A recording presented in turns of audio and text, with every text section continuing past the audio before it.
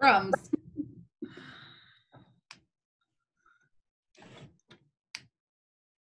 There's Brian.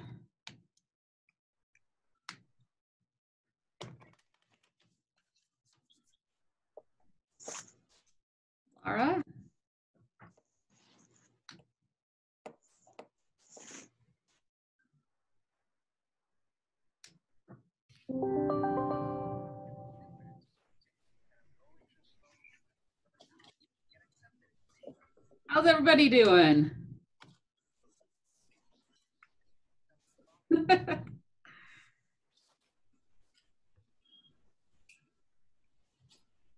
chapter seemed a little more challenging.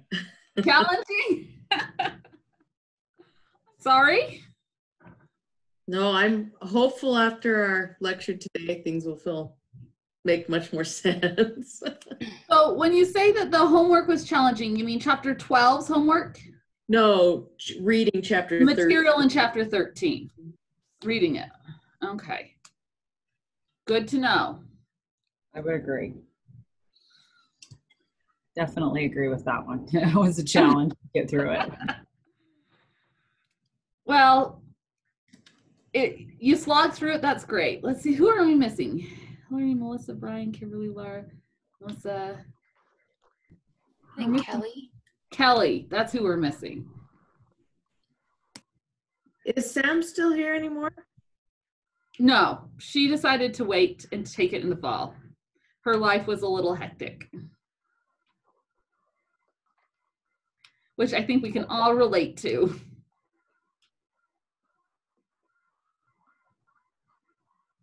We'll give Kelly just a minute.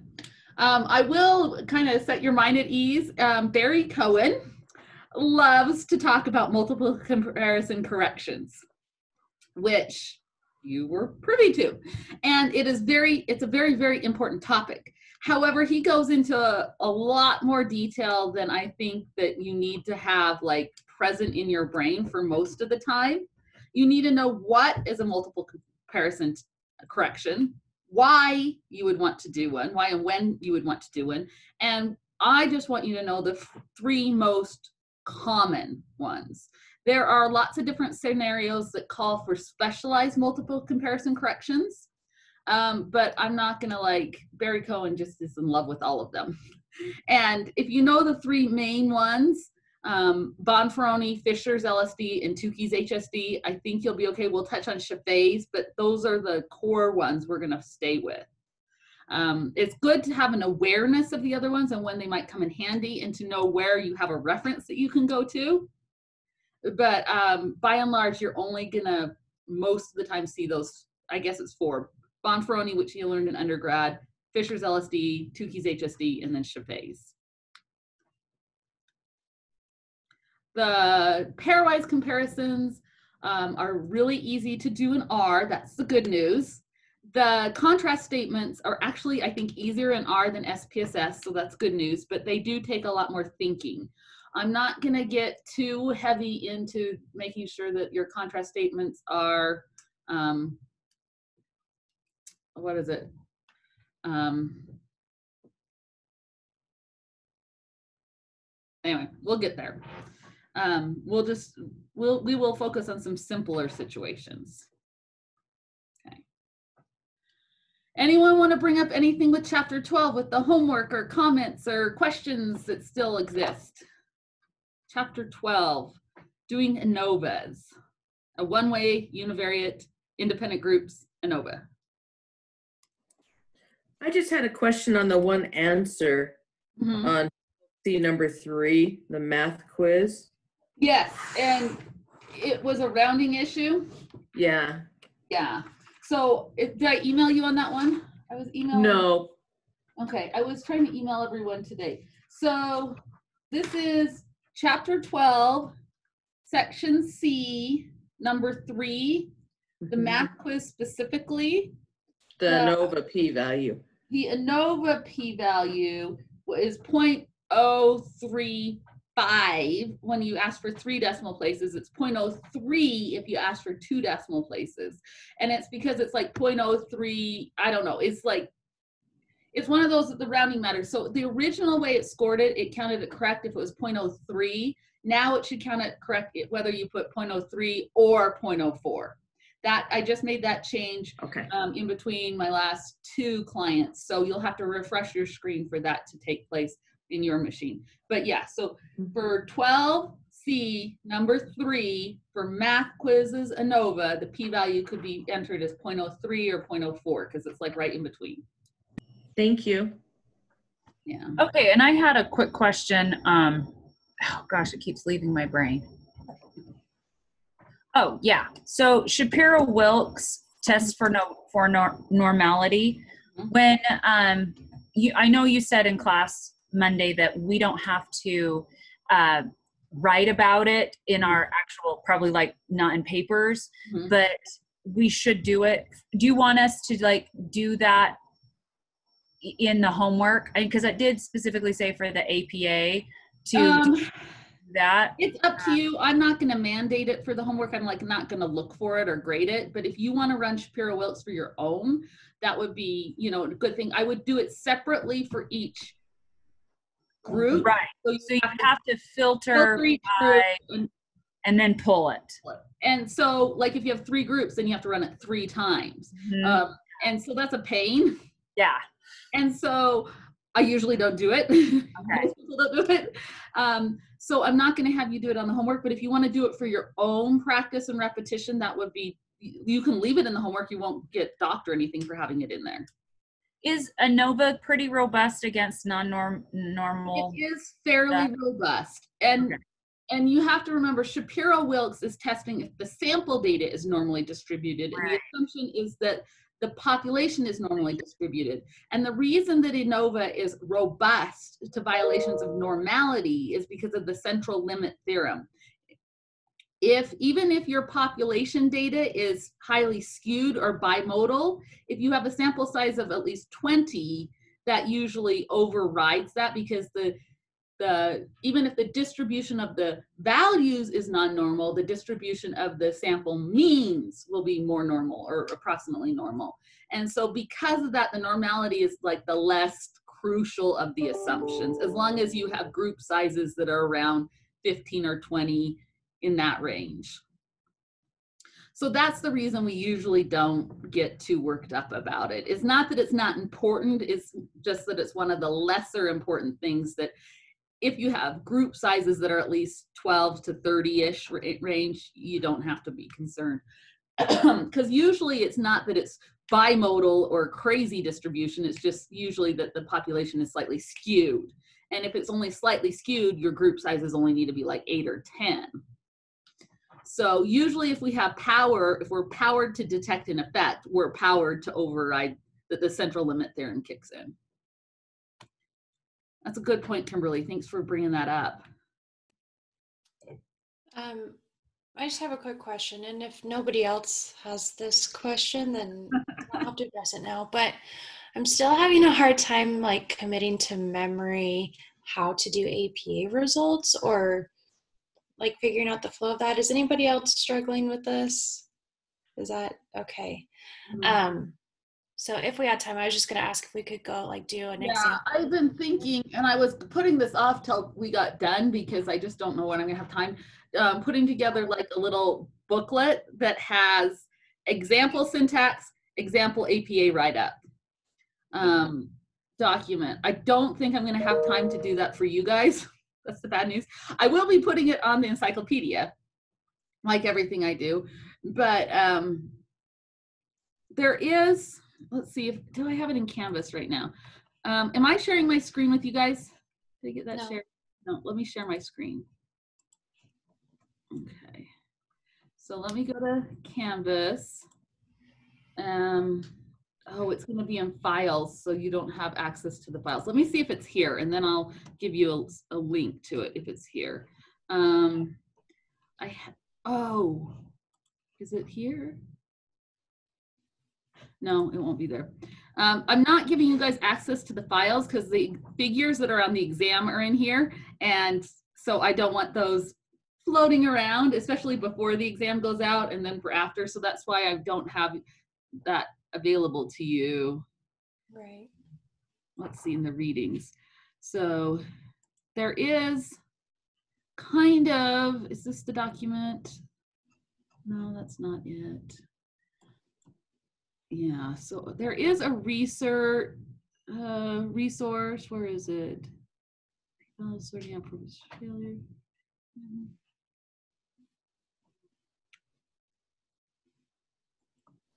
That's not it. I have, I have like, it's the, I hesitate because it's an older version of APA, it, but, um, let's see, where is it?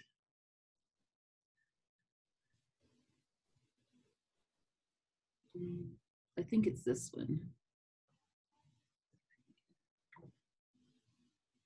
Um, APA stuff. So this is, does it say, so this is 2014. Um, so not tons of stuff has changed, but it has, what's nice is it um, has, where is it? Right here. It has some sentences that are written out for different tests and different sample tables. Let me take that and make that available on Canvas. That'd be really helpful. Thank you. Um, let me see. I used to make it mandatory that you read these, but it's just hard to make everything mandatory. So, yeah, this has some information. I think that that Wilk, the, or this Wendorf is really helpful. So let me, let's see, let me do it on the home page so we can't lose it.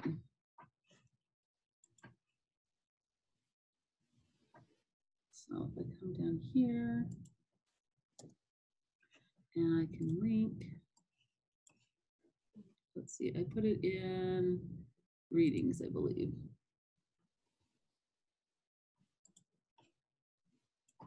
There. So at least there's this, there's that PDF document that has some examples.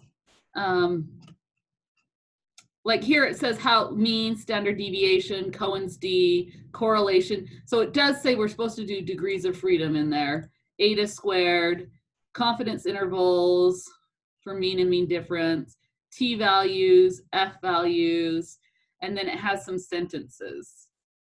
Okay. So one sample t-test. Now these, this is not like a full write-up of methods and results, but it's like a one sentence encapsulation. So here we did a one-way ANOVA showed that the difference in quiz scores between the control group and the first experimental group and the second experimental group were statistically significant. And where you would put, so if you're using N for the little n for the sample size, capital M for the mean, and capital SD for the standard deviation, those things go in parentheses, but the F value, the P value, and effect size go at the end of the sentence with just a comma separating it. Okay. Is that the kind of APA questions you're having? Or is it Yeah. more- I mean, also, I'm just not always sure like how much information to include for like the methods and how much information to include for the results. Yeah, Uh, and this is this is something that I still struggle with because we're always in I'm mostly functioning in publication, like writing publication manuscripts, and we are always so short. We only have this much space, and and the co-authors are like, you can have three lines to write about the methods of the analysis. You know, we're like always trying to trim words wherever we can. Um, you want to include everything so that if you were to hand someone their data, your data set, they could run it and get the exact same numbers as you did just based on your words. Hmm. So you need to tell them which variables were your independent variables, which ones were your dependent variable, what method you used, um, any of the options. The- Like when we did the two sample t-test, did we assume equal variance or not assume, assume, assume equal variance and why? Because we ran a Levene's test. Okay. So you need to give them enough of the details so that they could reproduce your results if they were given your data set. So, for the purposes of this class, it would be best for us to practice putting out like all of the information and then learning to trim. Yes, so I would, yeah, so that's why I said put in the part about checking for normality within each group and checking homogeneity of variance with Levene's test. Usually those things get cut mm-hmm. in the editing process, but I want you to because that's the focus of this class. Right. And in a in a dissertation, your committee would really like to see it Okay. in both cases. Because it's kind of that bridge between learning and publication, from classroom to publication Right. bridge. Okay. Yeah. Thanks. So Melissa, Melissa, it was you, right? You sent me a paragraph that you wrote for that one, 12C number three. She sent me mm-hmm. a paragraph and said, This is what I wrote. And then I emailed her back with some edits to it.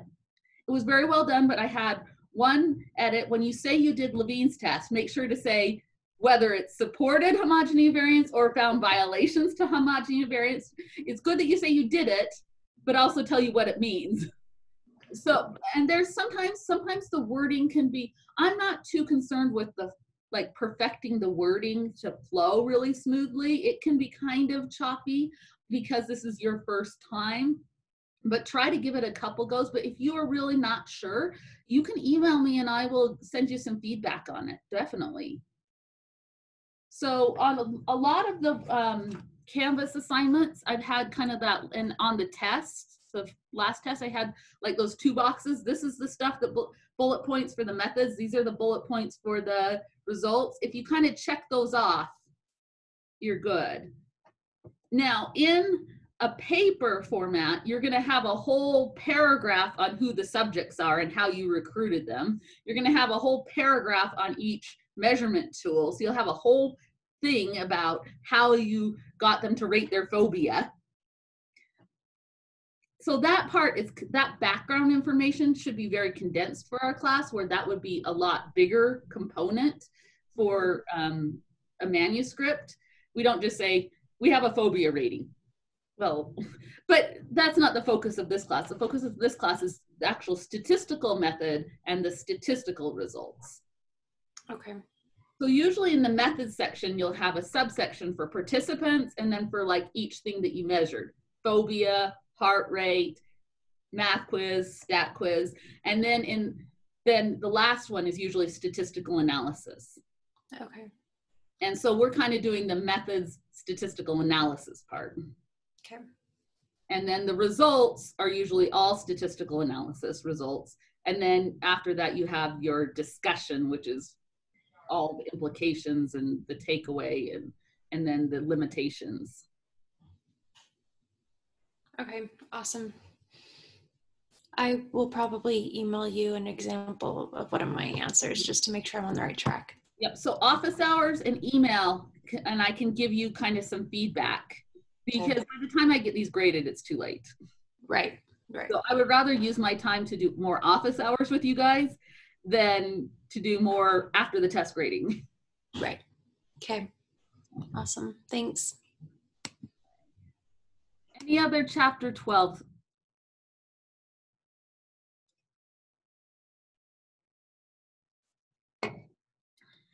The good news is we're still doing ANOVAs today. We're going to be doing ANOVAs for another two weeks. That's good, right? So let's see if I can figure out, I don't know the best way to do this because if I make this full screen, then when it records it, it puts your pictures out to the side and it makes the screen smaller. No, We'll try it. We'll try it. Okay. So, so far, we've done uh, an ANOVA method. We've done the one-way independent groups, univariate ANOVA. This is an omnibus or an overall test to say, do any of the groups differ? At least one group differs. So if you get a significant F value, if the F value has a tiny p value, how tiny? Smaller than 0.05, then that indicates at least one of the groups differ. So the purpose of our multiple comparisons, our post hoc tests, are to find out which of the groups differ, group or groups differ. So there are two main types of comparisons you can make. There's simple comparisons and complex comparisons, and we're going to go over both. The simple comparison is when we compare two group averages. So often it's called a pairwise comparison. So pairwise comparison, you're comparing group one with group two, group two with group three, group one with group four. There are only two groups being compared.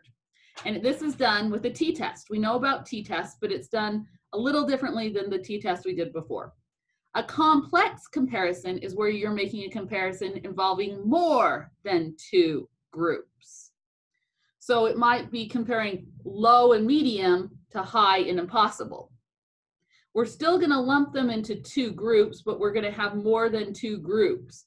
So if we just did low versus high, that's a pairwise. But if we did low and medium versus high, that's a complex comparison. We might have more than two groups being compared.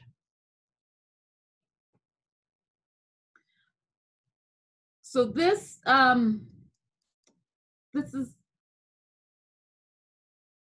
usually the way we proceed is first we do the ANOVA, and only if it's significant do we move on to the multiple comparisons procedures. That is the most common procedure. We don't do these pairwise tests or complex comparisons unless the F value is first significant. There are a couple times when we will overrule the significant F value, we'll ignore a non-significant F value and move into doing multiple comparisons. And usually it's when our assumptions are violated or our type 2 error is not such a concern, or if it's been um, previously postulated to do a, a multiple comparison and that's the only time that we can override a non-significant p-value. Generally, it is accepted, it's okay to do multiple comparisons as long as your p-value is close to significant. So when do we usually say a p-value is significant? When it's 0.05 or less. 0.05 or less. So the F value should be less than 0.05 to move forward. If it's close, like it's 0.06 or 0.07, we're usually okay to move to multiple comparisons. So if it's just close to significance, we're a little bit more lenient there. So this is one of my favorite comics. I have this on my wall of comics and memes. So the girl comes running in. She says, Jelly beans cause acne. Scientists investigate. And so they found no link between those that do and don't eat jelly beans and those that get acne. P is bigger than 0.05. End of discussion, right? Well, says, well, that seems like it's done. But she says, I hear it's only a certain color that causes acne. So they go back to the drawing board, and then we have all these little comics in the middle. First, they check purple, those that do eat purple, those that don't eat purple. Then they check brown, pink, blue, teal, on and on, all the different colors. How many colors did they check?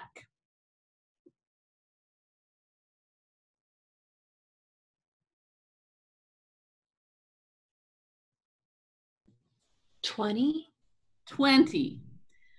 What are the p-values?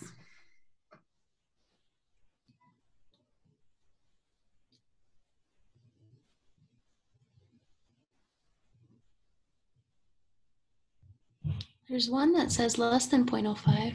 One of the 20 is less than 0.05. How much faith do you have that it's really green jelly beans that cause the problem? You never know. You never can know for sure. But if you did 20 tests, how many would you expect by random chance to pop up significant? Just by random chance. What's our false positive rate? 0.05, isn't it? 0.05, our alpha. If we're using alpha equals 0.05 to make our decision, then realistically our false positive rate is 5%. So e- even if jelly beans do nothing, 5% or 1 in 10, 20 tests will be flagged as significant just by random chance alone. So this is the problem with doing post hoc pairwise and comparison tests after you do ANOVAs. is when you are doing a lot of tests, you are likely to get some false positives.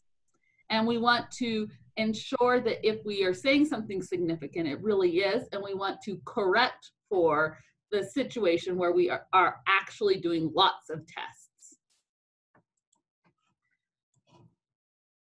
So hopefully we do not publish. Now this is a big problem in general. This is part of the reproducibility and transparency problem in social sciences that some people are calling a crisis up to studies have shown that up to 75 to 80% of published research cannot be replicated. That's a problem.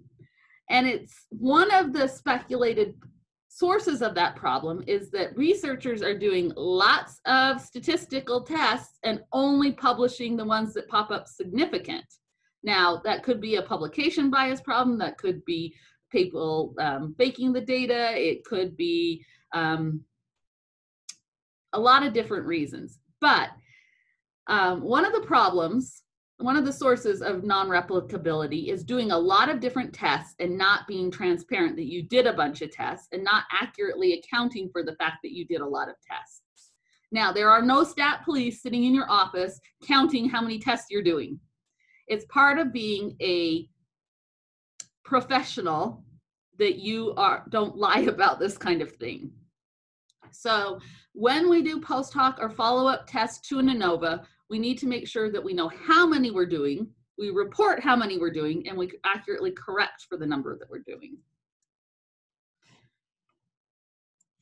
So alpha, that's where we're going to cut our p-value, where whether it's 0.01, 0.05, or 0.10, that transfers into our false positive rate. And that's the false positive rate for each test. So here it has an alpha with a little PC. That's per comparison. So for if each test, per test, we have an alpha. Now, if alpha we set at 0.05, but what if we do two tests? What's our overall false positive rate? False positive rate here is 0.05 and here is 0.05. What's our overall false positive? Now, you have to do this little formula, formula here in the green. You do 1 minus 0.05 is 0.95, and we would square it if we're doing two comparisons, and then subtract it from 1 to get our false positive rate. Someone have a calculator handy? So what if we use alpha equals 0.05 for each, per comparison for each test? So 1 minus 0.05, and let's square that because we're doing if we're going to do two tests, and then subtract it from one. So if I do two tests, each with alpha 0.05, so the per comparison rate is 0.05. The overall rate is, does anyone do that with me on the calculator?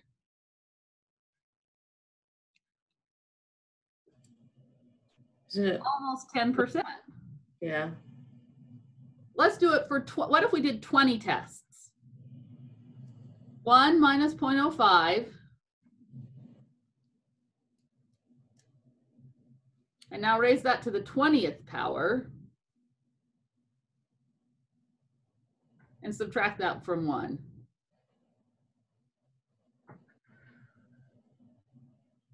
I'm doing 20 tests. What's my false positive rate now? 64%. That's crazy. 64%. Who feels comfortable with a false positive rate of 64%? This is the problem of multiple comparisons. Even if you're using alpha 0.05 for each test, conglomerated and 20 of them together, now you're up to 64%. That's not ignorable. So we need to have a way to keep that in check. Now, if we're doing an ANOVA with four groups, if you have four groups, you could do one compared to two, one compared to three, one compared to four, two to three, two to four, and three to four. There are six different ways you could compare four groups. There are six different pairings. They're shown in this green box. So if we have six comparisons and we use alpha 0.05 for each, what would that make our, if we use that formula, 0.95 to the power of 6, that means totally together we would have 26% error rate. That's a one in four chance of being false positive when we're comparing four groups. That's way too high. So here are our, our options. And the different methods take different approaches to these options. Option number one is we can ignore the problem. Bury our head in the sand. That is an option. People do it every day. I want you to know better. Option number two is we can change our per comparison alpha rate. Instead of using alpha 0.05 for each test, we can use alpha 0.08 or alpha 0.15 or a different alpha for each test. The other third option is we could adjust our overall experiment wide alpha level, which is usually less liked. So this middle option, modifying our per comparison alpha, is the most common approach that's taken. So some lingo here. There are, and this is again where you're going to be a professional and not lie. There are two kind, main kinds of comparisons that we talk about. There's the post hoc and there's the pre-planned, a priori. So a post hoc comparison is one we do posterior or after the fact, where we have no preconceived notions. After we collect the data, we want to explore usually all possible comparisons. This inflates type 1 error rate for the whole experiment quite a bit. This is where we definitely have to do some correction. In the green box on the right side is pre-planned or a priori. This is where you select the comparisons, not all possible, but some comparisons, either one or more, but not all. We choose those comparisons before we even gather the data. So to be considered an a priori comparison, you have to write it down in the proposal before you get the data. Whether you're doing a dissertation, a grant, or a paper, it has to be actually written down. And this is where registered reports come in for um, holding researchers accountable to this because you have to state your a priori um, comparisons you're going to make before you get your data. So if you do this green one, we justify our comparisons by planning ahead. This is the scenario where the overall ANOVA does not have to be necessarily significant to move forward with our comparisons. Post hoc have to have a significant or near significant ANOVA F test first. Pre-planned do not have to have the ANOVA significant F before you can proceed. Because we are only doing a few comparisons when we pre-plan, there's much less inflation of our type 1 error rate. Um, so this is a less problematic, especially if you only planned one comparison, then you pretty much don't have to worry. Um, sometimes we'll plan two of 12. Um, it depends on what you're researching and what your hypotheses are for your research question, whether or not you want to go with post hoc or a priori. Sometimes we don't have enough information to generalize, gen, genera, generalize what our research question as far as post hoc should be, so we just wait and do all possible. None, neither of these are good or bad, they're just two options that exist. Please be transparent and truthful. Um, I know a lot of researchers aren't. So a lot of times people will get they won't say either way. They'll gather their data and then they'll plot it or run the test. And after that fact run all possible tests pick out the ones with significant p-values and pretend like they were pre-planned. That biases your results makes it so you're probably not going to be able to be reproduced your results reproduced and um, that's not good for your career. So don't do that Okay, so here's an example. Um,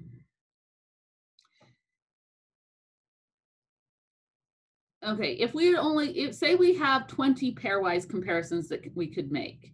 If we only plan to do one, we only have a 5% false positive rate. But if we did all of them, our false positive rate is about 100%. It's almost guaranteed. So how do we go about correcting for multiple comparisons? Here are just some of the listing of all possible ways to control for multiple comparisons.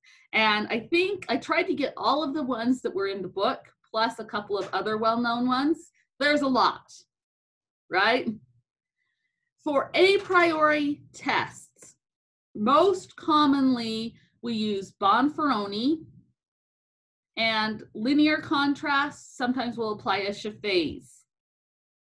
But usually we don't have to worry too much about corrections when we're doing just one or two a priori tests. In the green box is the post hoc tests that truly are not planned ahead of time. And there's a much longer list. Now, the reason there's so many different ones is none of them function perfectly or the, the best in all situations. And it's hard to know for sure which situation you're in sometimes. So we on this class are gonna focus on Fisher's LSD, Tukey's HSD, and Scheffé's test, and along with the Bonferroni. Those are the only ones I'm going to expect you to know for like a test and homework situation. All of the others are um, specializations pretty much of those three. And Fisher's and Tukey's and are about the most extreme in either direction. So all of the other ones fall somewhere in between. And because of that, I'm not going to focus too much on, on them in class unless you guys have one or two that you really would like to know more about. What did you guys think reading about all the different kinds of tests? Leah, that's quite a pace.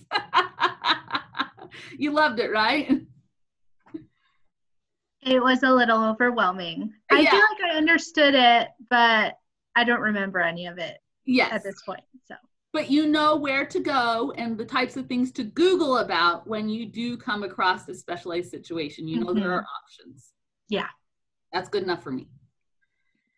Okay, so Sarah, can you just briefly state which ones we do need to focus on for this class? Fisher, Fisher's LSD, Tukey's HSD, Scheffé's, and Bonferroni. And these are all on the um, formula sheet, and we'll go over how to do all of those four in R. Okay. Okay, so I won't be saying anything about the other ones unless you have asked. Okay, so this is how the post hoc pairwise tests work in general. In general, this blue box T formula looks really similar to the T test we've seen before, right? It's a fraction, and on the top of the fraction, we put the two sample averages subtracted. How, excuse me, how different are the two groups?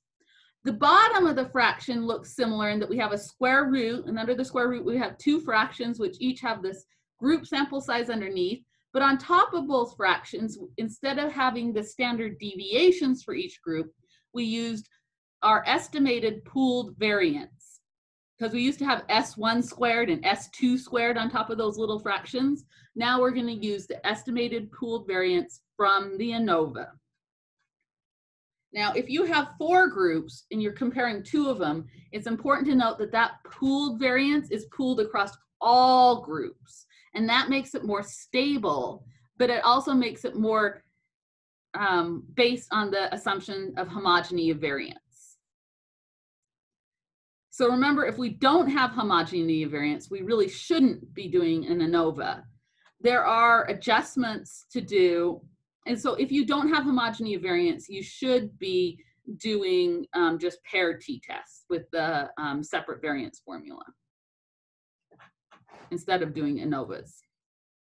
Or you should do some non-parametric alternative. So we'll start off with the easiest procedure to do on your own um, because it is very mathematically simple. And this one's taught in undergrad stats. Does anyone remember learning about this one? Bonferroni. Such a fun word to say. Bonferroni. So Bonferroni's corrections works this way. If I'm going to make six comparisons, I take my alpha 0.05 and I divide it by six to get my new alpha to use per each comparison. So in the example box, if I'm going to make six comparisons, six t-tests, I take 0.05. I want to keep that as my experiment-wide overall p-value. So I just chop it into six equal pieces, which is 0.0083. And that's the new alpha I'm going to use to determine significance for each of the pairings. Easy to do, right? Very easy to do, very, very severe. In practical application, nearly every time you do this, it will wipe out all significance. It is very, very, very overly harsh.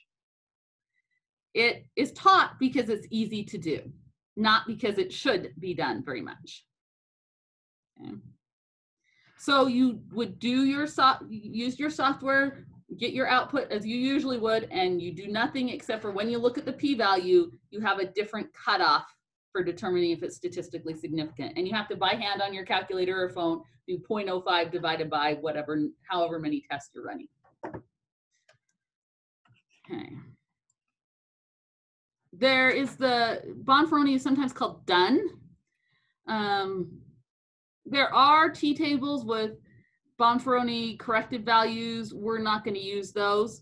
Um, the takeaway with um, Bonferroni, though, is that it's so conservative. It's so harsh. It, it, you are guaranteed to have no more than 0.05 false positive rate. It totally preserves your type 1 error rate, but at the cost of power. It costs you the ability to detect true effects.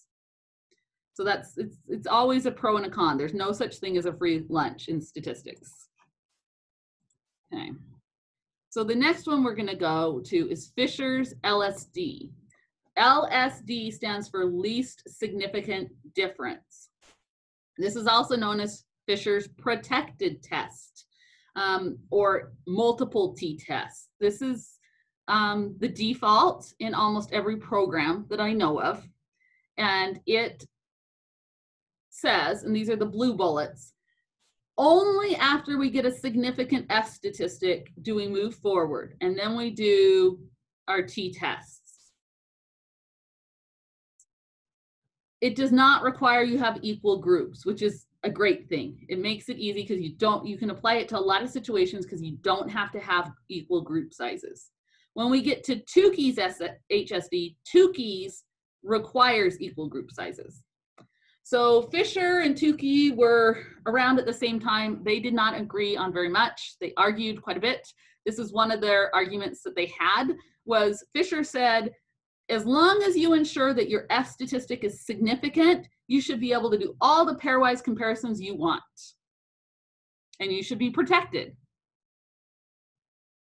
As, and that was his logic.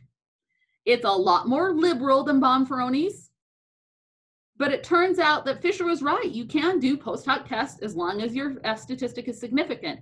However, it's only recommended when you have three groups. That happens a lot though. Three groups. We only recommend doing Fisher's LSD when you have three groups. So Tukey came along and he said, um, nope, I'm gonna go to this slide here. Tukey, there's this smiling face and the cute little guy. He's pretty cute looking for a statistician anyway. So Tukey said, um, no, Fisher, you can't just do all the pairwise you want. You've got to make some correction. And so this is preferred if we have more than three groups but the groups have to be the equal sizes. And it's based on the premise that the type 1 error rate is controlled for by comparing the biggest and the smallest, because those are the two most extreme means the biggest, the highest mean, and the lowest mean. And if you compare those first, that will help control. So in this one, the second bullet point, it does not require a significant F test Fisher's does, Tukey's does not. The way you do it is you have to find this new value, a new table, woohoo, called the Q value. So you look up a Q critical value and you use that to adjust um, with the mean squared within from the ANOVA. It's more conservative than um, doing nothing, but it's not as extreme as doing Bonferroni. So Fisher's is the most liberal. Tukey's is nearly the most conservative. Bonferroni is the most conservative. And all the other ones fall in between Fisher's and Tukey's. So let's look at this Q table for a second, shall we? So this is um, in your book. So if you need it on a test, I'll give it to you. This is table 11 in Appendix A. So it's set up, what table does it look similar to? The arrangement. We got numbers across the top and numbers down the side. Like an F. It's like the F table. It's very similar to the F table. And like that, you have to look at the top and make sure this one says alpha 0.05. You got to make sure you're on the right page on this one, just like the F table, because it has multiple pages. Now, on the F table, we had to look degrees of freedom in the numerator, degrees of freedom in the denominator. This one, Tukey adjusted a little bit because he said number of groups, because how do you get the numerator degrees of freedom? Number of groups minus one. So he's just took that out. So you just look number of groups across the top. It says number of groups. And then down the side, it's degrees of freedom within the denominator degrees of freedom. And you go in there and you find your critical value. Find the right column, the right row, where they line up. That's your critical value. That's the Q. And Q stands for studentized range statistic. Don't ask me why he chose to call it Q. Maybe because it was less used. It's our friend Q value. So Okay, so is R K minus one? R, the degrees of freedom within, What- Um, no, I'm seeing this R hanging out there on the left. What does that Uh, mean? R is, oh, it says R is number groups. Yeah. Okay. Yeah, this is, we, what do we call, what letter do we use for number of groups? K. K. And now it says R. The reason is, is when we get to um, two-way ANOVAs, we have rows and columns instead of just groups. And so we start calling them R and C instead of K because we have groups for the row variable and groups for the column variable. So yeah, so if you, this is number of groups, read the text. So if you, it could be R, it could be C, it could be K, just number of groups for the variable you're looking at, number of groups. Thanks for, I forgot that K, R was hanging out there. Number of groups. So this, if you have, okay, in this slide, it has K. So K is random samples with equal N. Tukey's requires equal group sizes. You want to look at the difference between the highest and the lowest at group averages. So you take the differences and you divide them by the square root of mean squared over N. And then you want to compare that to the Q value from the table. So you're going to take the two averages that you're comparing, and we start with the biggest and the smallest group averages and subtract them. And we divide that by mean squared within, which is mean squared error, MSE. It's printed out on our output, right? And divide it by n. Now, little n is the common group size. Again, it requires that the groups are all the same size. And then we're going to decide if it's statistically significant or not based on that Q critical value in the Q table. Now, the good news is, is 99% of the time in real life, you're going to let the computer do this for you. Yay for R.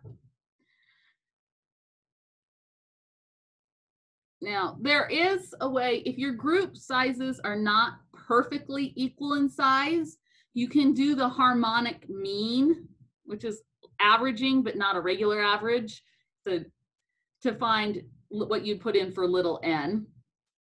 And I think there's one on the homework for chapter 13. And I think I did the harmonic mean for you because just to save time. Is there?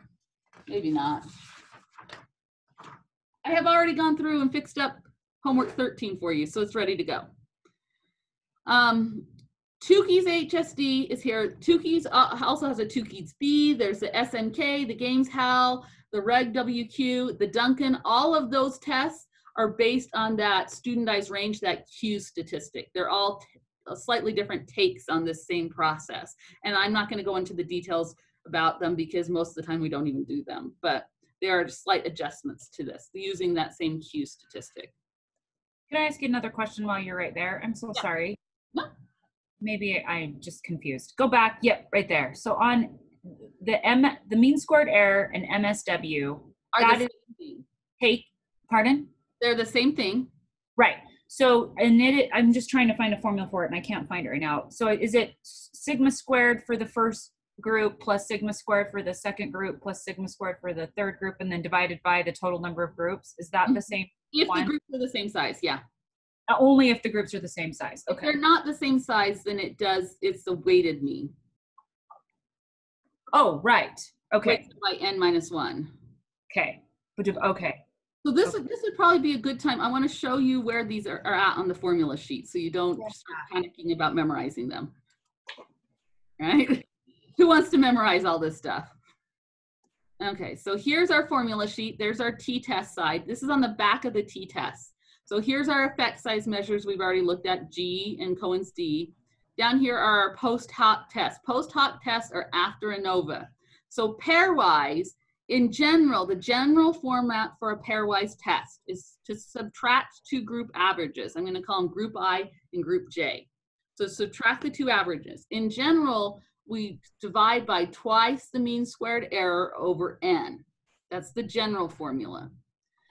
Fisher's test, we compare that to a t critical value. Tukey's, we use Q as our critical value. And notice what's also different about Tukey's versus Fisher's. What happened to that number two? He absorbs that number two into the table. So the table has absorbed that. So these are the three ways to do a pairwise test without any adjustment or using Fisher's LSD and Tukey's HSD. So we will we'll be doing examples of both of these. Then, so those are the pairwise tests. The other kind is a linear contrast, which is a more complex comparison. And we're gonna learn how to do Scheffé's correction for those. So these formulas are all on our formula sheet. They will be on tests. You can use them, um, print them out. So Sarah, if they, if they're not equal group sizes and we have to do the harmonic, mean to get this little n. Yeah. how do we do Truly, that? you should not be using Tukey's if you have different group sizes. And if you have different group sizes, you can do Fisher's and the little n should be the harmonic mean of the sample sizes. Which is what, again? How do I find that? Harmonic mean, um, did the book show you that? All, I think all the examples here, I'm looking at all the examples on the homework. I think all the examples on the homework have equal group sizes, so you don't have to worry about that. And in application, the computer software will adjust that for you. It'll calculate the harmonic mean. Yeah, I just looked through, all the homework has equal group sizes, so you don't need to worry. And while we're here, can anyone find the formula for MSW? or MS? MSW is this pooled standard deviation. So here it is for two groups with equal group sizes. Here it's with two groups with unequal group sizes.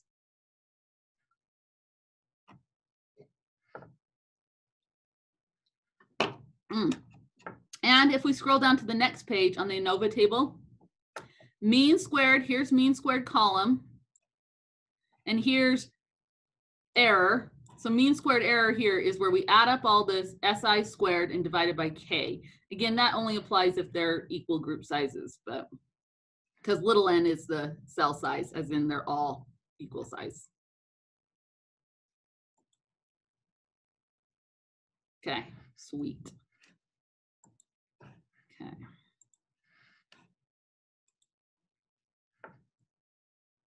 Oh, Tukey, so cute. Okay.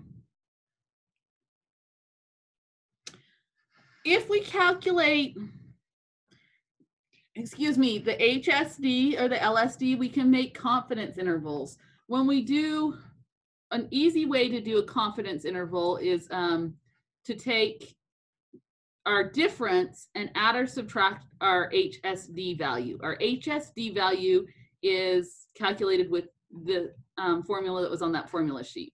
So we can add or subtract to find out a confidence interval for the difference.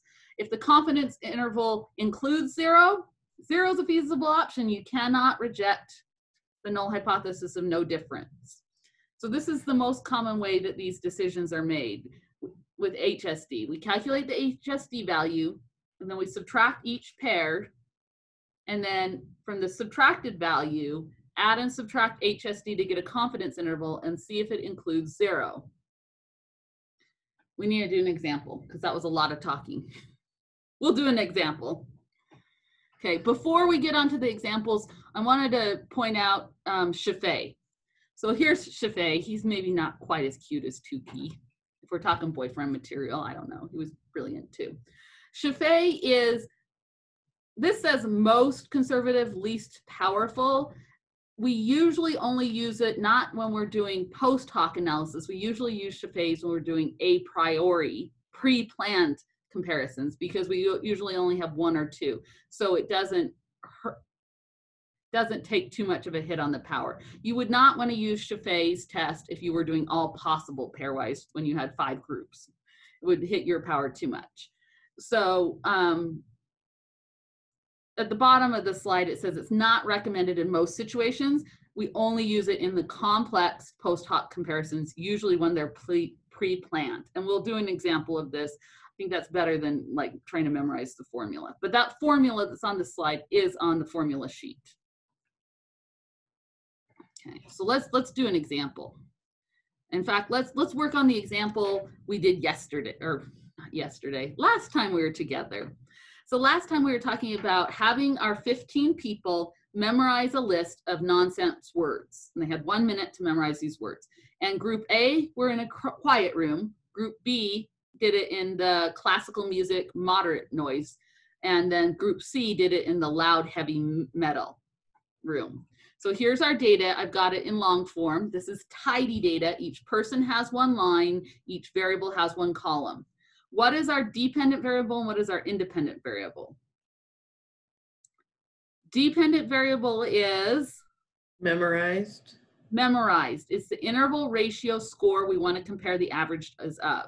We want to compare the average number of word, words memorized. So memorized is our dependent variable. It'll go first in our formula. What's our independent variable? The music they were listening to? The type of music, and it has three levels. So music is our independent factor. So we're saying, does this factor, none, classical rock, affect number of words memorized? So here's the data is in R. I've already entered it. So I can do a furniture table one to get the descriptives. So we did this on our last homework assignment. We grouped it by the grouping factor. And then we did furniture table one of the dependent variable to get a table with our averages. And we can eyeball these. So we eyeball these and we say, hmm, it looks like no music has the highest average 9.2 compared to classical and rock, which both have 6.6, 6.2 words memorized. So that this step is called exploratory data analysis. We want to summarize our data to get an idea of what's going on. I can also make a plot, a box plot. Visually, visualizing and summarizing your data are both steps of exploratory data analysis that should always happen before you run your main analysis. So if we're gonna run our main analysis, first we, besides normality, and we really should worry about normality here because we only have five in each group, but we'll forego that for now. Test homogeny of variance, so we're gonna do Levene's test. When we do Levene's test, our formula has the dependent variable, tilde wave, grouping factor. data equals dot, center equals mean. Here's the results from my Levene's test. What do these results tell me?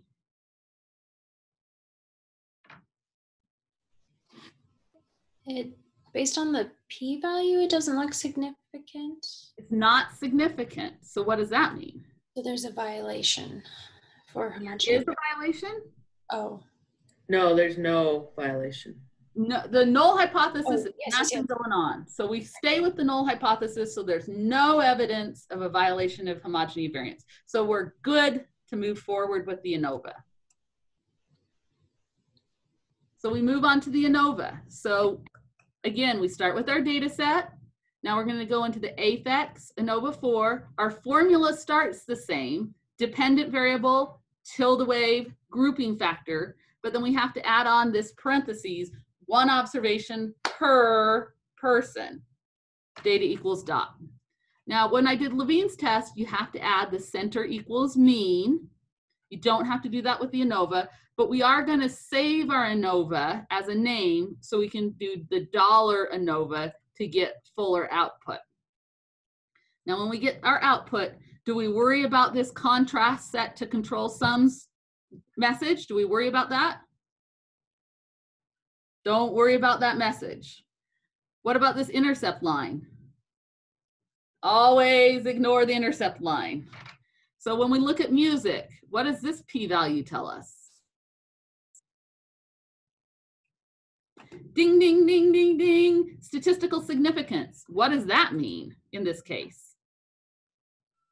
The group means are different. Different.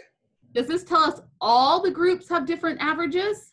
No, At just least at least one. there's one. at least one group has a different average. Yay! So chapter that's chapter 12. So now that we know at least one group has a different average, we're on to how do we figure out which group? Okay. So here we go. This is the new parts. So remember I said the LS means package was obsolete now, so you can delete that. The where it says library LS means when that gives you an error. Mhm. We do need the EM means package. EM means is for estimated marginal means. And this comes out of our model. So this is what it'll look like if you take the name. Now notice I'm taking the name of my model, not the data set, but the name of my model, which here I called fit AOV. And piping on the EM means package has a function also called EM means. It's redundant, I know. So, and then tilde wave grouping variable. You do not need to say anything about the outcome variable here, the dependent variable, just the grouping factor. And you will get some output that looks like this.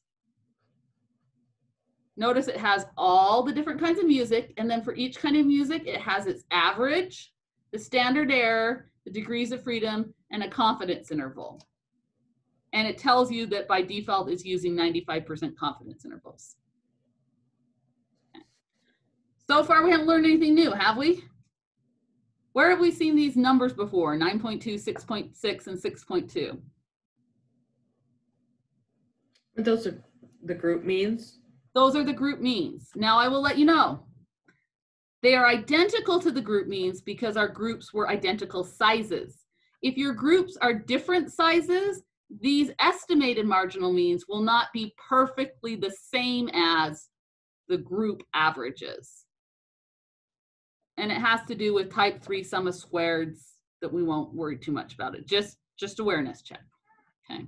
So this is how we do our post hoc tests after we, we say the name of our model, our ANOVA model, we do that EM means part with the factor, the grouping factor variable name, and then we pipe on the word pairs, adjust equals none. This will do no adjustments, which is essentially doing Fisher's LSD. Now we can also do it in, inside of the parentheses with pairs, we could say adjust equals Tukey, and that will do Tukey's HSD. How easy is it to do these adjustments? Pretty easy. We can also do Bonferroni adjustment. We say adjust equals Bon.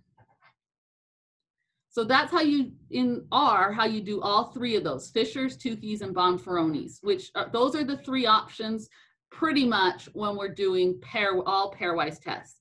So these three syntax will all do all possible pairwise tests. They're just applying a different adjustment to the p-values. So let's look at the output. Here's Fisher's output. Now, how many groups do we have? Three, none, classical, rock. How many different pairings are there? None with classical, none with rock, classical with rock. There are three pairings of our three groups. So when we did EM means by itself, we got the groups individually. When we add on the word pairs, we get each pairing of groups. And this estimate is the estimated difference. That's the capital D bar. So what was the average for none? Do you guys remember? Oh, the average for none was 9.2, 9.2. What's the average of classical? 6.6. Six. What do you get when you subtract those? Oh, 2.6. So each of these estimated, this is the estimated difference in averages for the two groups on that row. So this first row is none and classical, so the group averages differ by 2.6 in the sample. How much do they differ by in the population? Well, our standard error, give or take, is 0.872. Notice the standard error is the same for all of these. There's our degrees of freedom. Here's our t ratio. And here is our p-value. These are the p-values for comparing all possible pairs. Is none different than classical?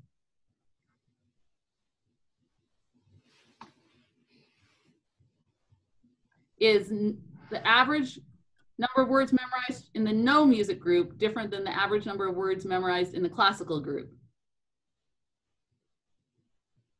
Yes, statistically significant evidence of a difference. The null hypothesis would be nothing going on, the groups are the same. So this is saying evidence that the groups are different. So none and classical are different. Let's move down to the middle row. None and rock. Are they statistically significantly different? They're different as well. So none and classical are different, none and rock are different. What about classical and rock? They're not different because our p-value is not significant. And we this one's kind of almost rhetorical because you can look at those averages and, and pretty easily eyeball that. That the no music was different than classical and rock, but classical and rock are the same as each other, essentially. Now, this is what the output looks like if you put in the adjust equals Tukey. Does it look the same?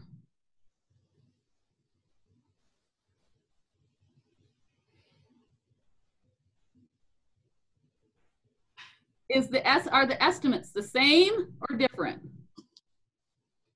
They're the same. What about the standard errors? That's Same, the squared error. What about degrees of freedom? same, Same. What about the t ratios? same. The same. What's the only difference? P value. Only difference is the p-value has been adjusted. Okay, ready for Bonferroni?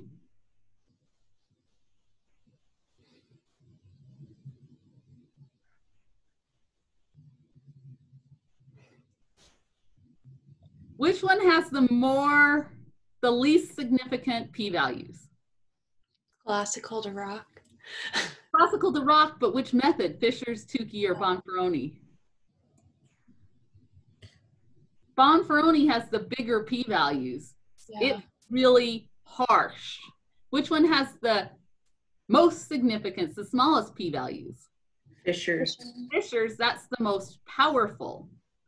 But it's not just that we should do Fisher's all the time. Fisher's requires, we- it's only suggested when you have three groups, when you're making three comparisons.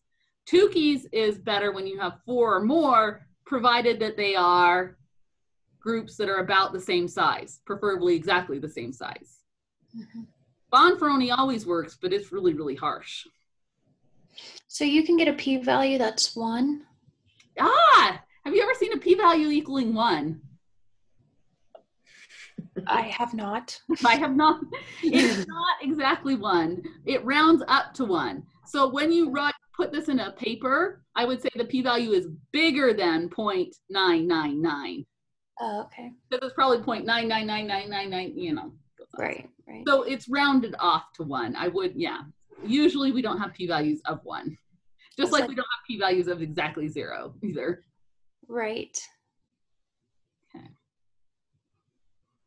Okay, so what do you think about doing these adjustments? Not too bad. As long as I don't have to do them by hand, I feel okay about it. Um, I'm I'm very hopeful that we'll be able to. We, we have we're about an hour down, a little more over an hour down. I hope that we'll be able to go through the rest of these slides and then start on the homework problems for the hand calculated ones. How does that sound? Yeah. Okay. All right. Okay. These are the most more simpler to do cases, the pairwise. Next comes the complex comparisons. And this is probably where in the book you went, hmm, right? You're like, I'm done listening. Okay, so let's let's try to get do we want to have a break first? Would that be good? Let's take a break first and let our brains um, breathe a second and we'll come back and do the linear contrast. Um, let's see, we got linear contrast and then example problems. Yeah, of linear contrast and then how to do linear contrast. Yeah, linear contrast is all that we have left on the slides. And then we'll get into, use the last um, bit of class to start on homework by hand calculations. So let's, let's go, should we go like seven minutes or do we want 10 whole minutes? No preference? Okay, well, I'll see you back here in seven minutes then.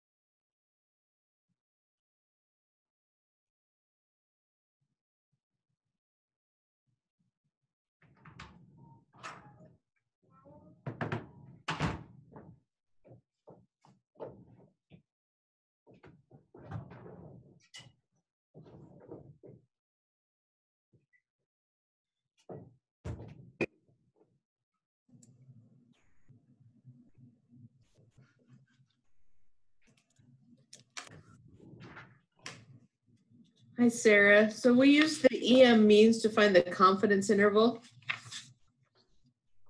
Um, I think to do the confidence interval, you have to take the estimate plus or minus the HSD. So which one on the homework is that?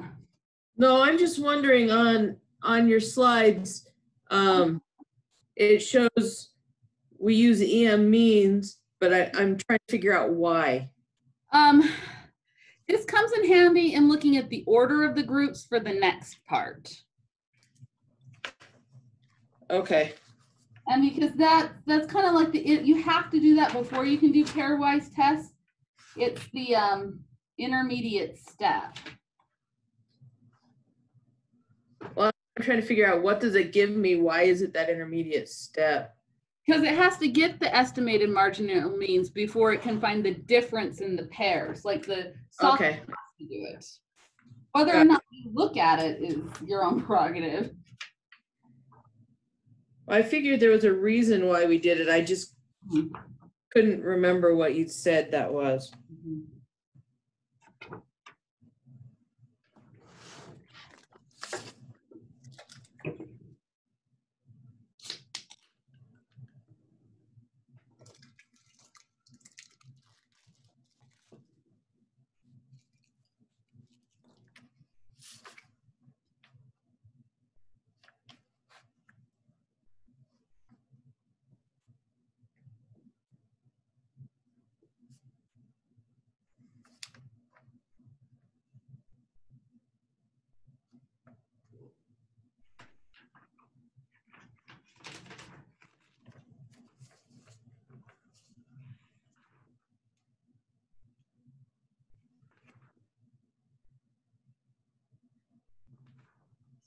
thought you do any contrast by hand.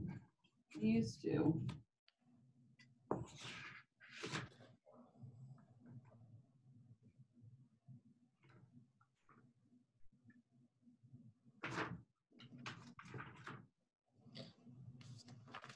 So Sarah, what does the upper CL and lower CL mean? Those are the upper and lower ends of the confidence interval. So a confidence interval is always a lower number, comma, a higher number. Just Okay. The range. Great.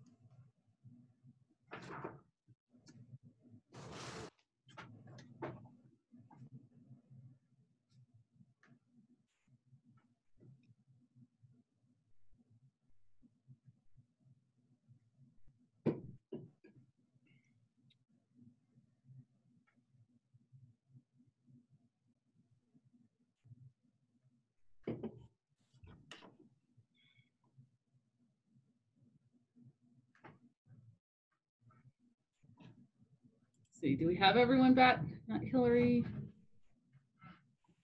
Did We get, we didn't get Kelly. Did we get Kelly in here? Let's see if we can get Kelly. Uh, It doesn't,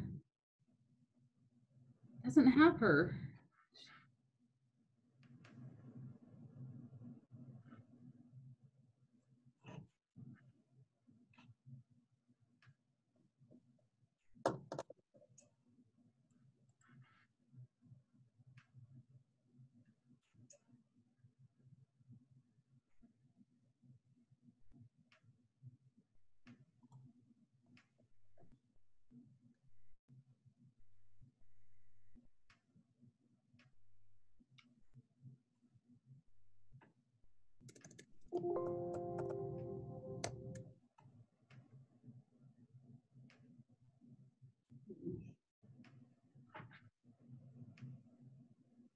Okay. Keep an eye out. Okay. All right. Hillary's back. Okay, we're ready to go. All right, so linear contrast. These, this seems to be a little slower of a concept to build. So um, we'll just keep going over it.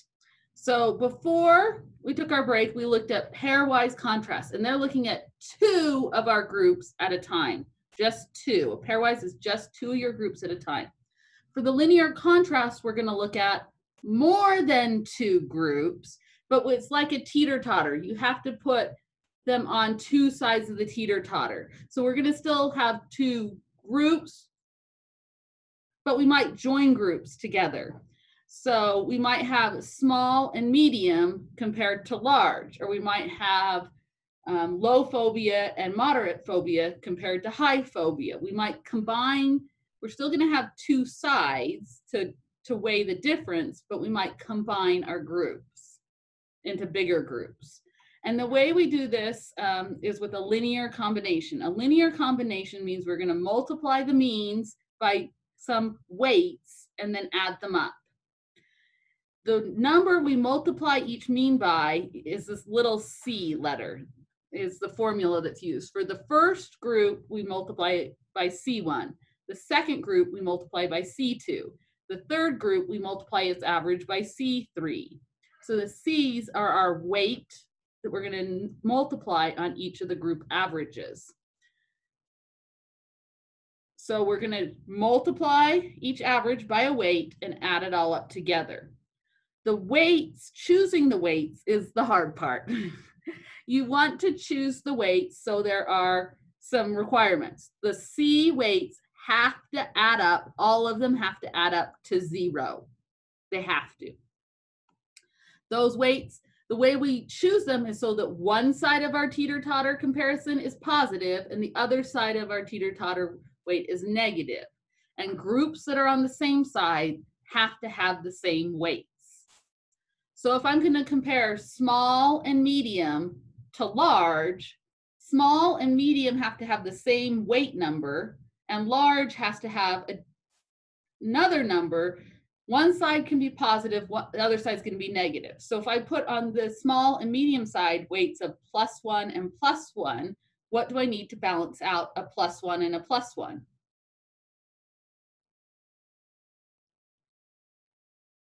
One and one so I need two. Two. So If I have one and one, the other one has to be two. If one side, if I have positive one and positive one, the other side has to be negative two. I could also have negative one, negative one, and a positive two. Now I could have weights of seven and seven, then this side would have to have a weight of negative 14 because all together it has to be zero groups on the same side have to have the same weight and all the weights have to balance out to zero. That's why we have some positive and some negative. So here's an example. So we had four group means. What if we have four group means and I want to compare one, group one to group two and ignoring the other two groups?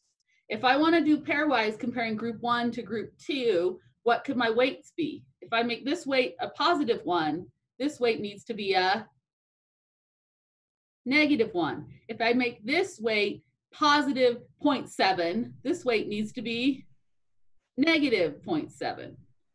I can make this first weight a negative 5, then this one has to be a positive 5. Now, the way you ignore groups is you give them weights of 0. So one way I could do my weights would be positive one, negative one, zero, zero. That's one combination of weights that would let me compare the first group to the second group and ignoring the third and fourth group. And the way I would do the L value, the L value is the linear contrast value, is I would take those one, negative one, zero, and zero weights and times each group's average by the appropriate number. What do I get when I times these two averages by zero? When we times by zero, it's basically zero. So what are we left with? Group one minus group two. So that's the difference between the first two groups. That's the simplest scenario. What if I had the same four groups and I wanted to compare groups one and two, compare them to group three and four? So I'm gonna combine groups one and two and compare them to the combined group three and four. What should my weights be? Let's start off with the easiest number. One, then this one should be, Negative one. if they're on the same side, if they're gonna be combined, they gotta be the same One and one, One and one, and then it would have to be negative one and negative one. negative one. I could also, oh, I read it wrong. It says one, two, and three compared to group four.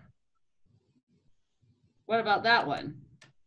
How would I compare groups one, two, and three to four? If I went one, one, one, then what would this weight need to be? Negative three. negative three. Now the computer likes to do one third, one third, one third, and negative one, but you could do positive one, positive one, positive one, negative three. What, what are the rules? One side's positive, one side's negative. All together they had to, to add up to zero. Weights on the same side are the same value. So essentially it would do the average of these three compared to this fourth group. Okay, so here's our formula sheet. Now I put up here in red to remind you, MSW is the same thing as MSE, mean squared error, and it's the same thing as pooled variance. Those are all the same thing. So we talked about how you make a t-test in general. We're gonna do it like before. We're gonna subtract two group averages, but we're gonna divide by the standard error using that pooled variance. Fisher's LSD, we use a t critical value to determine it. Tukey's, we use an Q critical value to determine the cutoff. These are different cutoffs to determine statistical significance. To do a complex comparison, we need to decide what are each of the group's weights, those C numbers, times each group average by its C number and add it all up. That's called our linear contrast value, that's L. You don't have to do any of these by hand on the homework. You have to decide what the C weights are and type it into R, but it's gonna calculate this for you. Then you do the sum of squared for the contrast, which, what is little n?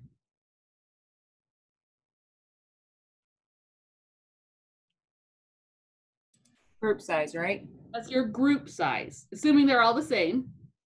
So you do group size times L squared, L is that linear contrast number, divided by the sum of the C weights, the contrast weights squared. And this is why it doesn't matter if you pick a third, a third, a third, and negative one or one, one, one, negative three, because when you square them and divide them out here. Can we go over that one more time? I just got lost on your last equals. last part. Hmm. So you take the samples, the, the common sample size, group size, times it by our linear contrast value squared, and divide it by, you take all your weights, square them each, and add them up. We're gonna do an example of this, so we'll walk through it. And that, from that, you make an F value. So pairwise tests are t-tests, but linear contrast, we use an f-test to do. An f-test for the contrast is always numerator degrees of freedom one, because we're comparing two groups. They might be combined groups, but they're still two groups. One, and the denominator degrees of freedom are the same denominator degrees of freedom from the ANOVA. And then we take sum of squared for the contrast divided by mean squared within. We'll do the example step through all three of those formulas. Then to this, if we only have one a priori linear contrast, we are usually okay not to do a correction. But if we are going to do a correction, because maybe we have multiple of these linear contrasts, we are going to use a Scheffé's correction. And Scheffé's correction is where you take the critical value of f that we'd usually use our critical value to determine if we're statistically significant, and you times it by k minus 1. This is, today we only have done one-way ANOVAs.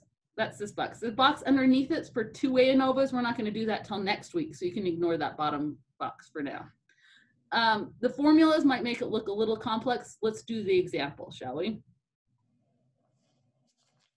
Um, the book tells, shows you all these fancy formulas for when you have unequal group sizes. We're, I wouldn't get too worried about it. Let's go back to our music groups, shall we? How many groups did we have? Three groups. So instead of doing all three possible pairwise, we might have thought ahead and say, hmm, my research question, when I'm developing my research question before I get my data, I say, I want to know if music has any effect, and if it has an effect, which music makes the difference. That's one way to postulate your research question. Have it, phase one of your research question one is, is no music different than some music? And you would do no music versus moderate and loud, none versus classical and rock combined together. That's your first. And then your second one would be ignoring quiet. Is there a difference between classical and rock? That's a two stage research question. First, does any music make a difference from quiet? And after that, do the two research kinds of music make a difference? So if we run these as contrasts, let's do the first. No music versus moderate and loud. What should my contrast weights be? If I start out with one, what should my next ones be? Positive one, Negative one half. negative one half, and negative one half. Well, I don't like fractions, so let's do positive two and negative one and negative one. Shall we do that? So those are the numbers that we're gonna times our averages by. And we could go negative two and a positive one and a positive one. We could have just as well done a positive two with our ones being negative. So So does I- it matter which side is negative and positive? It does not, it does not. Okay. The only thing is difference, our test might end up being positive or negative, but it's symmetric. So actually we end up squaring our L value. So it all vanished. It doesn't make a difference. Okay. So on the screen, the red values that come first are the weights. The weights are negative two, one, and one. That's one option. Then in blue, following the weights, I have the means, 9.2, 6.6, and 6.2. Those are our group averages. So if we multiply that, those group averages by those weights and add it all up, in this case, we get negative 5.6. That's our linear contrast value. Now we're going to find our sum of square for the contrast. We're going to do our group size n times the L value squared divided by the sum of the C value squared. What's our little n size? Our little n.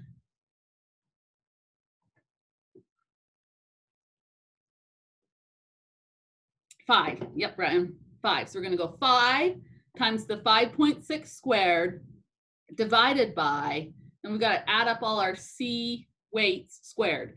Our C weights were negative two, one, one. What do we get when we square them? Four, one, and one. So what do we get when we add up our C weights squared? Four plus one plus one is Six. six. So we're gonna take five, our group size, times our L number squared over six. And We get twenty-six point thirteen. That's the sum of squared for the contrasts. Now we make our F value. Well, if you go from the sum of squared to mean sum of squared, you divide by the degrees of freedom. A contrast statement always has two, one degree of freedom because we're comparing two combined groups. Let's see, how do I do this? One and two. Two combined groups. Minus one is one, so it's one degree of freedom. So the sum of squared for the contrast and the mean sum of squared for the contrast are the same number. So we make our, our degrees of freedom, our degrees of freedom and our mean squared within, those numbers were from our ANOVA. Remember when we, let's see, where's ANOVA? When we did this problem way back here.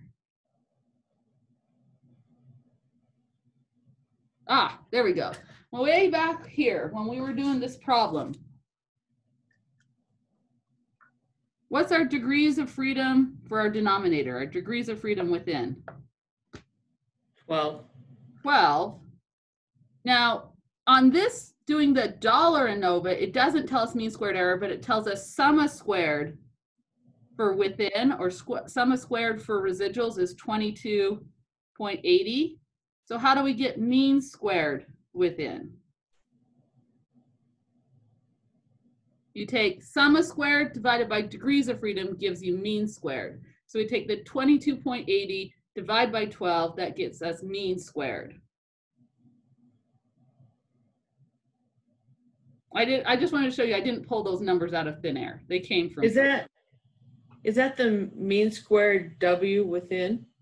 Mean squared W is mean squared within, is the same thing as mean squared error, is the same thing as pooled variance. Okay, Yeah, so what we just did, the sum of, sum of squares divided by the degrees of freedom, that gave us what?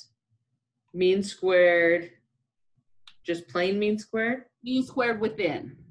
That's what I was wondering. Okay, So we did this L, we chose our contrast weights according to what our research question was to determine our linear contrast weight to create our sum of square for the contrast. That sum of square for the contrast ends up being the sum of square mean squared for the contrast because it's one degree of freedom because we have the combined two groups minus one. And then mean squared within, this mean squared within, that's for the whole ANOVA. And then to make our F ratio, we do the mean squared of our contrast divided by our mean squared within. So this contrast statement has a value of 13.7. How do we decide if it's statistically significant? How do we decide if any F value is statistically significant? Look up the critical. we need to look up the critical value. Um, I did, and it's significant. I, uh, can you trust me on that? 13.75 is pretty big. It's significant. Um, oh, it's right here. It's 4.75 is what it would need to be significant, 4.75. So it is definitely statistically significant. So that answers the question, is no music different than any music? Now we want to say, ignoring the control group, are these two music conditions different than each other? What are my contrast weights going to be now? Ignoring the first group, what does its weight need to be? zero. Zero. Then we've got the other two groups we want to compare to each other. What should their weights be? I can, they need to be the same number, but one positive, one negative. The easiest way to go is positive one, negative one. But I could do 3.7 and negative 3.7 if I wanted. Okay. So you choose your weights based on the research question. The weights get times on the group averages. That adds up to the L value. Then you take the sample size, the group size times L squared divided by the sum of the C squareds. And then you can make an F statistic. Again, this will be done for you on the homework. You don't have to do this by hand on the homework. Um, it'll all, R will calculate all these things for you. I'll show you how to put them in. But we can see on this one, our F was only 0.21. We know F's not going to be significant unless it's bigger than one. So this one is not significant. So this is the same answer to this answer to a similar question we said before. No music is different than music, but the two musics are not different than each other.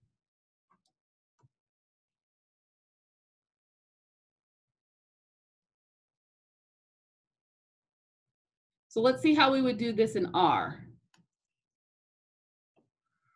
When we were doing the pairwise test, here we did the, okay, so if we're gonna do the pairwise test, we did the name of our ANOVA model, pipe it into emmeans EM means, tilde wave grouping factor. So that those first two lines are the same.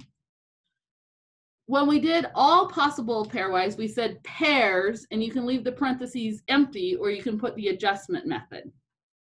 For contrast statements, instead of saying the word pairs, you say the word contrast. After you say the word contrast, you have to open some parentheses and then you have to say list. If you don't say list after that, it gets mad. I didn't write it. I wouldn't have done it this way, but we'll just go with it. So contrast, and then you can put a list of contrast statement.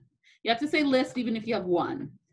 Then you put some text. The quoted text is just a note for yourself. So here it's in green. It says one, none versus some, two, classical versus rock. This is a message to myself to remind myself what I'm doing here. So the none versus some is going to be my first contrast, no music versus some music. And then my next second contrast is going to be ignoring none, classical versus rock. After you put your quoted text, you have to concatenate or combine the numbers of your weights. Now, the order of these numbers in these parentheses matters a huge, huge amount. The way to know what order to put your weights in is to run the emmeans and stop there. So if you do fit, whatever your name of your fitted model is, and then emmeans, EM means, tilde away factor variable, and stop there, you'll get this printout. And Melissa, you were asking why would we want to print that out? The main reason we would want to print this out is because it tells us the order of the factor levels. It's none is first, classical is second, third is rock. So that's the order we're supposed to put our contrast weights in. So none should go first, and then classical and rock come after that. So when we put in my weights, if I do two, and it's negative one, negative one. The order of those weights is crucial. And then we said that second contrast, we're going to ignore the none, the no music, so that gets a weight of zero. And we want to compare classical to rock, so they've got to be the same number, opposite signs. Questions on that?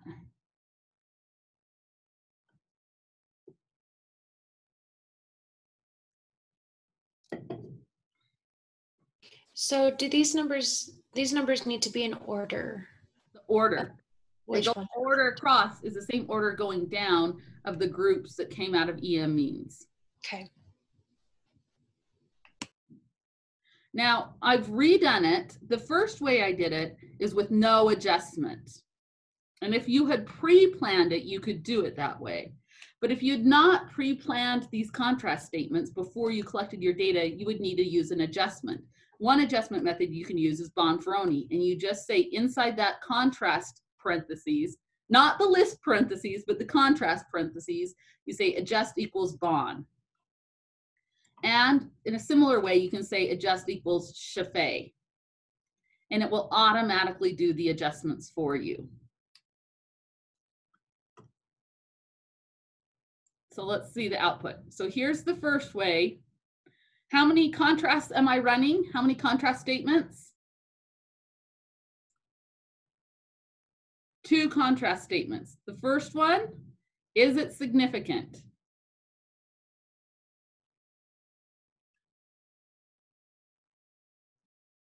Is it significant or not significant? Significant? No music versus either music. Significant, p-value 0.003. The second contrast statement I ran was classical versus rock, ignoring zero weight, the no music category. Is it significant? Not significant. So music is different than no music, but it doesn't matter which music, they're the same essentially, as far as memorizing words in this scenario. Okay, let's see. What do you think is going to happen to these p-values if we do the Bonferroni adjustment?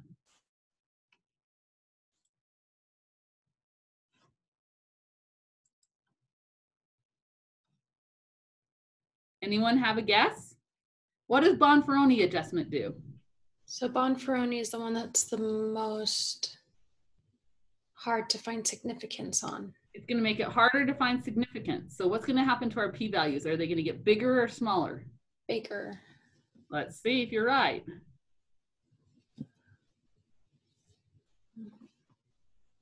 Is our conclusion the same? Our p-values have changed, but does our conclusion change? No. No, our conclusion's the same. None, no music is different than some music, but the two musics are not different. The conclusion stayed the same even using the Bonferroni adjustment. Bonferroni is harsh, but if you get significance with Bonferroni, you're awesome. Okay, and Scheffé's. What do you what do you think the p-values are going to be like for with Scheffé's?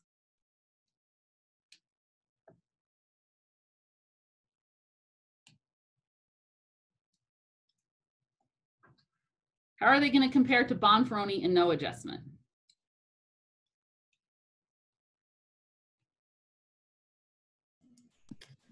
Well, they're conservative, but I don't remember if they were more conservative than Bonferroni or not. I don't think anything's more conservative than Bonferroni. Scheffé is going to be between doing nothing and doing Bonferroni's. Scheffé is severe, but nothing is as severe as Bonferroni. But again, did it change our conclusion? Does not, in this case, it didn't change our conclusion. Now, it's interesting for the second contrast statement, it's less severe, but it's more severe for the first contrast statement. It's not always a guarantee one way or the other.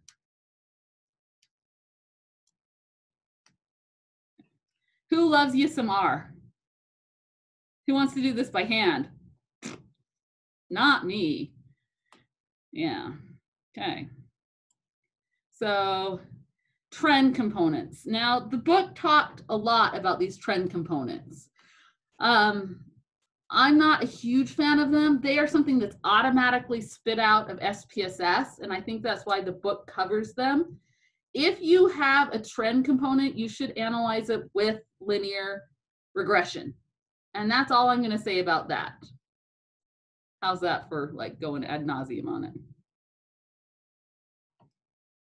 So the conclusion, not all researchers agree on the best approaches or methods, especially for multiple comparisons, but you should do something and not nothing.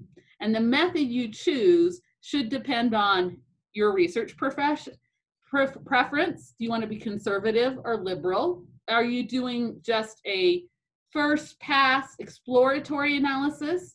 Or are you like doing a meta-analysis for the be all end all what's the seriousness of making a type 1 type 2 error? Do you have equal or unequal group sizes? Do you have homogeneity variance or have you violated it? There's lots of decision points that have you have to look at to see which kind of adjustment method you're going to do um, you can run pairwise and you can do complex comparisons, and we've seen both. Big, big idea in blue. If it's a priori, you before you get your data, you choose your what comparisons you're going to make. It can be more meaningful, and you have less um, problem, more less inflation in your type one error rate. So please, um, as much as you can when you're research, writing your research proposals, try to come up with specific conclusions, not just, oh, I want to explore all these differences possible. If you think it's going to happen in one direction, usually we can build a more powerful test by doing a contrast statement instead of just doing an omnibus test. So recommendation, if you're only going to do one post hoc comparison because you planned it so, you can just do a standard t-test. If you're gonna do lots of pairwise comparisons, like all possible comparisons, either do Bonferroni, which is people will never argue, a lot of people say, oh, do Bonferroni's. But it's better if you do Fisher's LSD if you have three groups, Tukey's if you have more than three groups that are equal sizes. If you've got a complex comparison, we went over the linear contrast statement by choosing those C weights.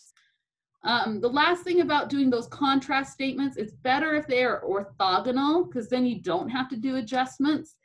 Um, the more groups you have, the harder that's to, to determine. And I really urge you to seek out consultation if you go to do those because even I have to look it up every time. It gets a little complex. So um, with the complex comparisons, you can do Scheffé or Bonferroni. If you can make them orthogonal, you have more power because you don't have to do the adjustment. Let's see. Yeah. And that's the end of the slideshow.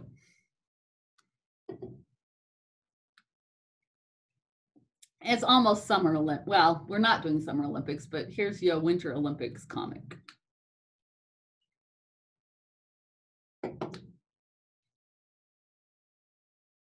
Were we supposed to have Summer Olympics this year? Yeah. Oh my gosh. I just realized I didn't realize that. That's yeah. It's, it's been a big deal at our house because all our girls are swimmers and my oldest has a friend that was going for olympic trials this summer and so yeah It's been a big deal for us at our house. Where was it going to be? Hmm? Where was it going to be? japan Oh, okay. So right now they've said postponed a year we'll see Thanks. Is that what the decision was? I didn't know that. Yeah. Yeah, it was yeah, we were on pins and needles watching it every day because they it was a long time till they made the decision. They kept saying, "No, we're going to have it. We're going to have it. We're not going to suspend um attendees. We're we're going to go on as planned." And it was a long time before they finally said, "Yeah, I guess we can't do it after all." So, Sarah, I know they're still discussing this at the school, but um, for on-campus classes, do we have any update for fall? Okay, all I can tell all I can tell you is as much as I know, and that is there will be on-campus classes. There will be social distancing. Masks will be mandatory. Um, I've heard um, as of Monday was the last meeting that I was in that they will be providing, and maybe I don't know if this is staff only. I'm guessing it's students. They'll provide two masks per person. Beyond that, you have to purchase more. Um, so Yeah, it's just for staff. is it just staff? Yeah. I can't imagine they wouldn't for students. Yeah, I, I don't know what's going on the student side, but I do know I know the two masks per is for staff. Yeah, I'm I'm almost guaranteed it's going to be students too. I just don't have the particulars. Um, there will be they're still I think trying to work out some classes will be broadcast. The large sections how they're going to divide them up. Kimberly, have you heard more on that? Yeah, uh, you, you're right on. You, you're exactly where I'm at and what Brian said. Um, I, I just like for my large lecture sections, I have to divide them up into what groups come for the live lecture, and then it gets recorded, and then then the rest of the class is to watch that. Then you know what I mean? Like so. and they have different days they come live and the other days they yeah so that's one way for the class i'm teaching this fall i'm teaching multi-level modeling which comes after regression it's not mandatory for very many programs but it's a really important class i think of course i'm biased but What's the uh, number for that shit, hmm? Sarah? What? What's your what's the call number for multi-level mo- modeling? Sorry to um, interrupt. it's psychology 7650 it's only psychology 7650 it's not cross-reference as education 7650 but anyone on campus can take it.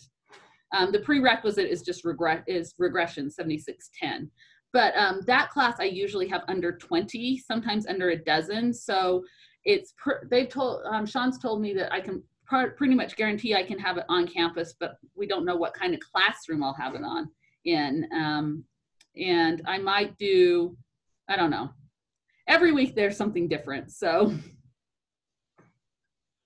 so Okay. yes we don't know we don't know um as we far were also told that like just to be prepared to go online at any time.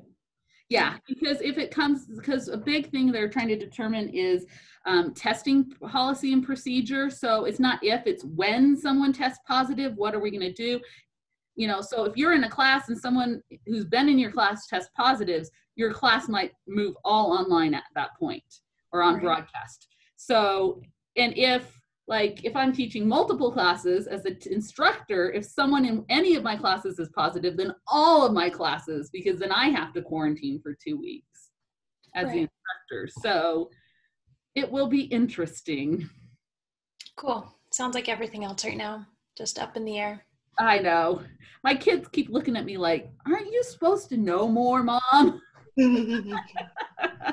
So if they have you quarantined, does everything just go online then for that two weeks? Um, I don't know if it'll be broadcast live or have to be recorded and posted. I don't know. They're trying to determine all these things right now. Nobody has any prior experience. yeah. But as far as I know, we're not changing start and end dates to the calendar like some universities. Some are starting two weeks early so they can be done at Thanksgiving. Others are starting two weeks later so that they delay coming back to campus. As far as I know, they haven't talked about that here uh, in any realistic fashion. That'd be cool to be done by Thanksgiving. The idea is they don't want people going home for Thanksgiving and then coming back with new germs. Right, right. Don't know. Okay. Well, we have like 45 minutes to work together. Oh, could we please do all the hand ones? That would be fabulous. I agree. Not as much, there's not nearly as much hand calculations for chapter 13 as there was chapter 14. I will definitely say that. Chap, the next chapter, next Monday, there is some hand calculations again, but only on like one or two. Not. Chapter 12 was the worst for hand calculations. Yeah. Let me Shrink up your pictures. Will you remind me while you're doing this, like when to when to use Scheffé's test? Scheffé's test is when you're doing complex linear contrast statements. So when you're comparing multiple groups to multiple groups in that two two-way comparison manner.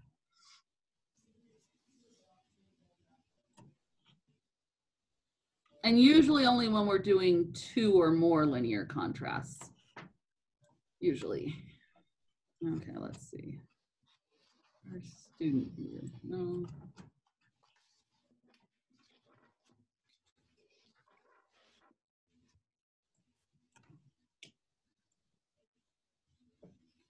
Where does it say student view?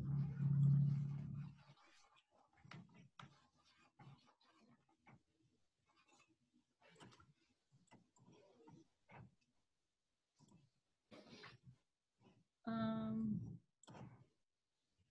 oh, I have to go to home, that's why. There we go. Student view.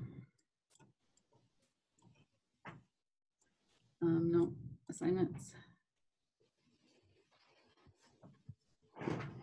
Okay. This is assignment thirteen.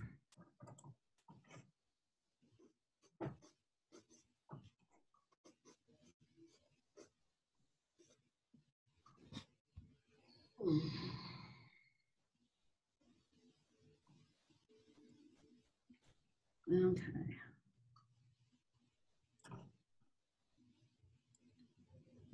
My.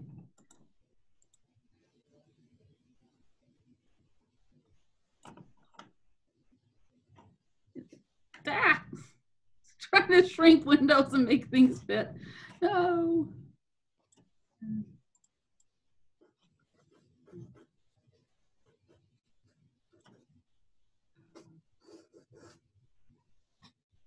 Oh, that didn't help. Can I get your pictures back now?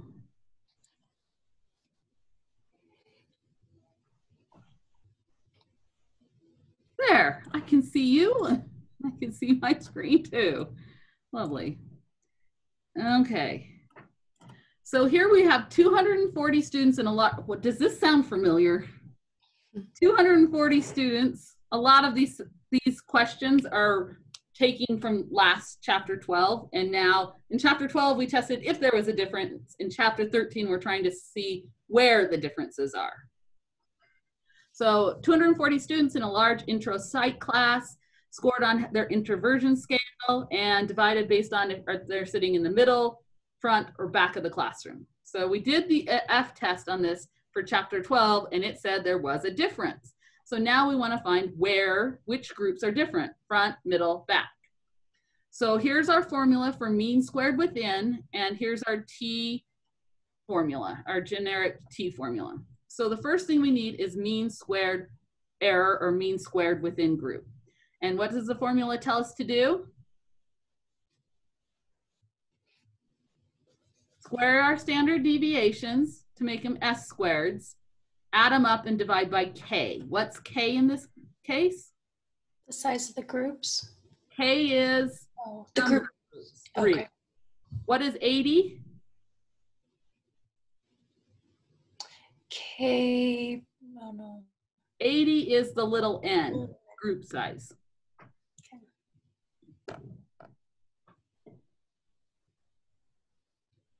Anyone fast on the calculator? 111 squared plus 12 squared plus 13.5 squared.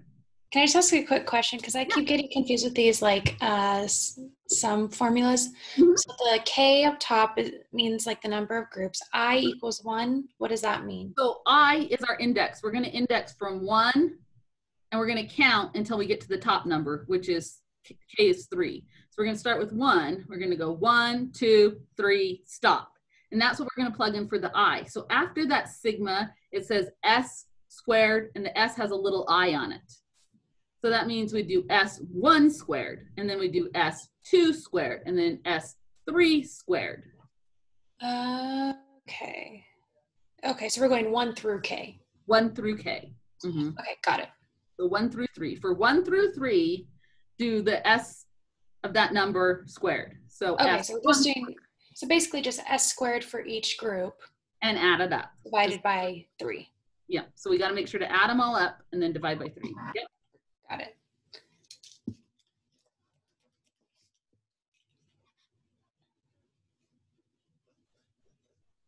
When you get it, let me know and shout it out and we'll see if you can second it and we'll put it in our answer box. I think it's 150.56. Let's see. Let's go to four decimal places. Oh, 150.5633. Yep. It says in purple because these are Oh. steps. We're going to go to four decimal places. So that's our mean squared error or the mean squared within group. Now to do the t value, we're going to divide by the square root of twice that number divided by square root of n. So let's do twice the mean squared within divided by n. Now what's little n? The number in each group, The number in each group. What value is that here? 80. 80. So now we're going to move to the second formula box and we're going to go 2 times that 150.5633 divide by 80 and then square root.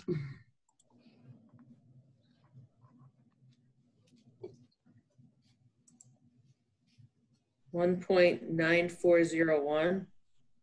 Can anyone second that? Yep, that's what I got.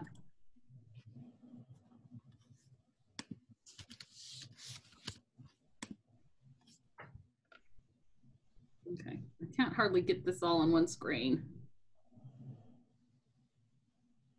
Okay, so now we're, how many pairs, how many groups do we have? One, two, three, front, middle, back. We have three groups. So how many pairings do we have? Front versus middle, front versus back, middle versus back. We have three pairings. For each of those pairings, let's find the difference in the averages. So front versus middle. In front, the average is 28.7. In the middle, the average is 34.3. What do we get when we subtract those? Negative 5.6 or 5.6. We're going to put in the positive value because order changes whether it's positive or negative, but I asked you just to put positive values in.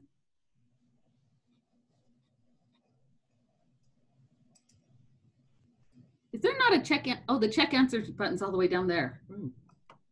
Oh, sorry. Okay. Now let's go to the next one, front versus back. Front averages 28.7, back averages 37.2. The difference is 2.9? no. No? Did anyone else get 2.9? I got something different. Oh, front and back. Sorry. Is that one 8.5? And back. 8.5, yeah. Yeah, 8.5. And then middle versus back, Is 2.9. 2.9. There we go. Okay, so those are the differences. So to find our t-score for the pairing, we take, subtract the averages, that's what we just did, and now we're gonna divide by that square root of double the mean squared error over n. So we're gonna take each of those difference values and divide by 1.9401. So what's the X bar J? That's just the second mean that we're Yeah, I and J are just different numbers. The numbers. We just we didn't make them both I because that would make us think that they were the same. So Right. we, I and J just so that they're different. okay. Mhm. Got it. Good questions.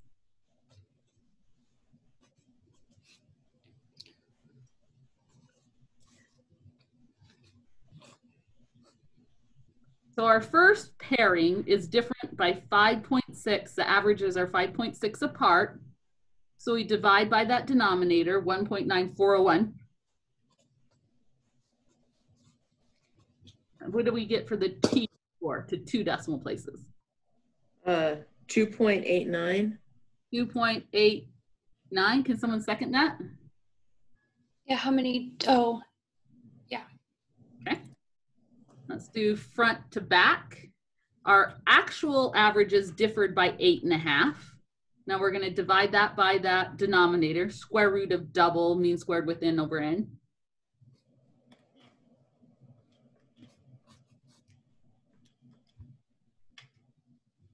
Four point three eight. 4.38. Yeah, got some thumbs up. Middle to back, 1.49. 1.49. We got a second. Good. Brian's got it. Awesome. So that's how we get the T scores for each of the pairings. Now to decide if they're statistically significant, we need a critical value to compare it to. The critical value is based on the degrees of freedom within. Degrees of freedom within, does someone remember? Oh, here it is. The formula is total sample size minus K. What's our total sample size? So that would be, 240. so Minus 237. So it'd be 237. Now I hit, put here, enter the degrees of freedom you should use. And I said that because there is not a line for 237 on our T chart. Let's go to our T chart, our table. Here's our T chart, right? So we're supposed to go down to degrees of freedom of 237. But what happens at the bottom of our T table? Infinity. infinity. So we should be looking up 237 degrees of freedom, but which line are we going to go with? Infinity. Let's go with the infinity line. Are we doing two tails or one tail? Two, Two. Could, did it say that or do we just imply that? imply Implied. If it doesn't say otherwise, do two. What is our alpha level going to be? 0.05. 0.05 because it did say that, right? So we're going to come down that column. So what's our critical value?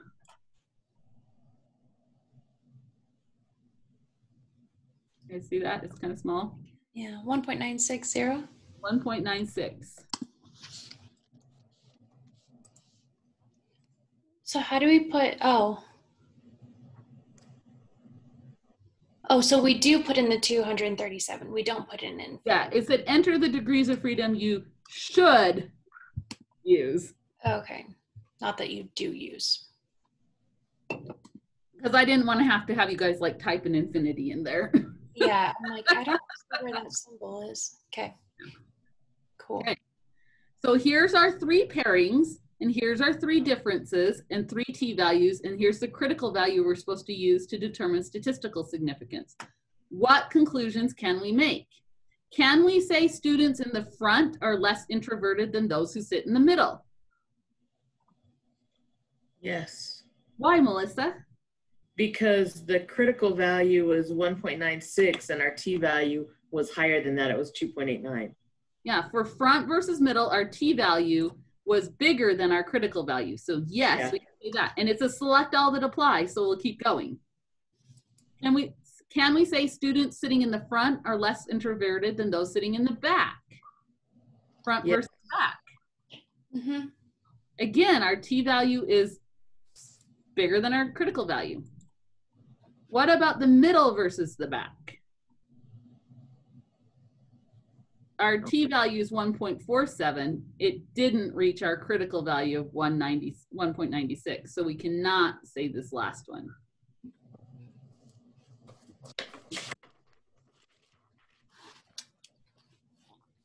Okay, I will let you do number four. It just changes the standard errors to see what happens. But same process.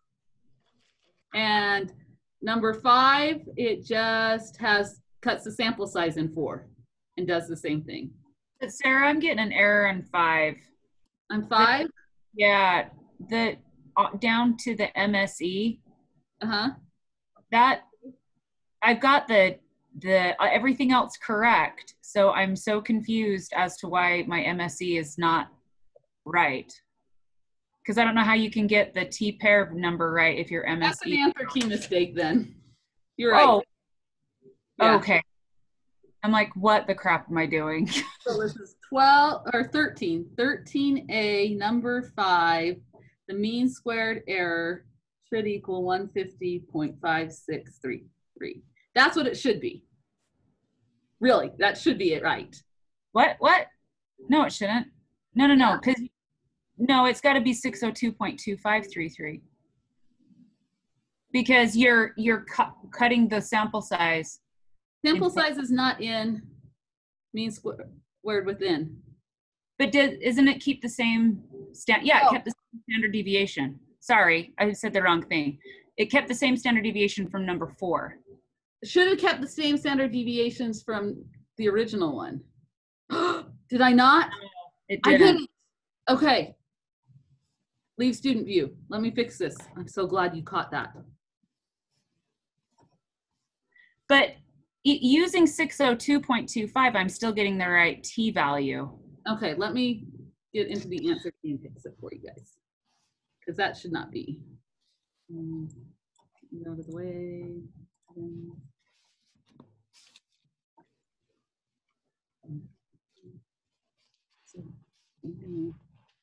so on this one, number five, we should keep the original standard deviations. Okay. This one should Is be that a the same for number four? Oh, no, number four was doubled.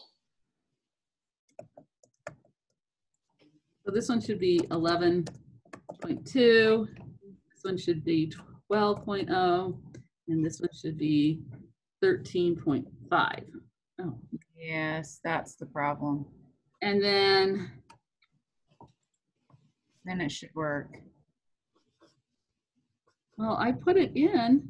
Oh, it was yellow, which means it was right, but. Okay. Okay, that should work. Let me save that.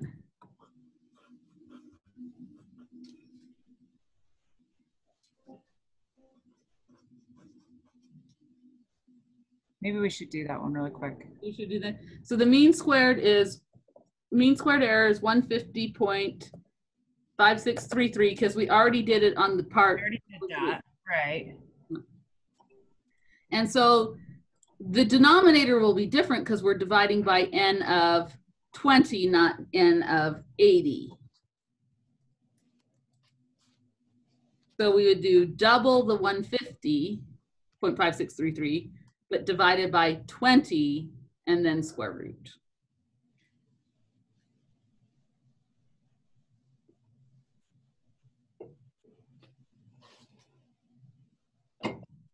So we get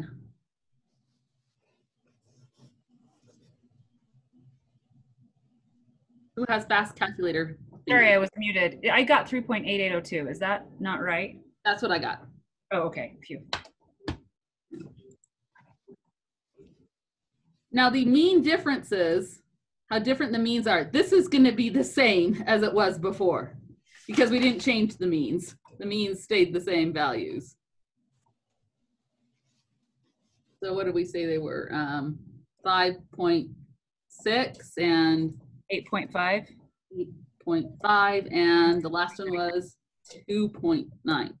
But to calculate the t value, we're now going to divide by this new denominator.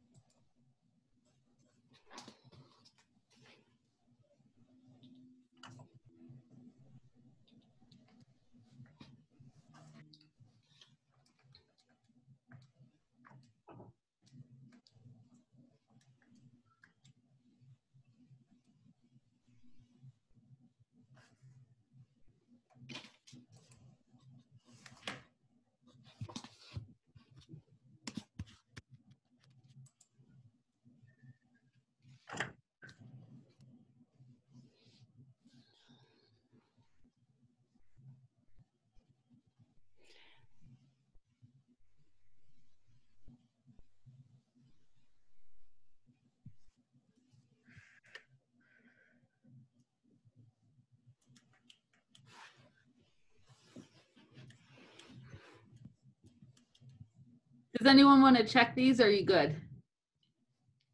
So the mean differences for number five will be the same as, Mhm. Because we didn't change, we didn't mess with the averages. And to find the mean differences, you just subtract averages. right? Mhm. So the first one is 1.44. 1.44, yep.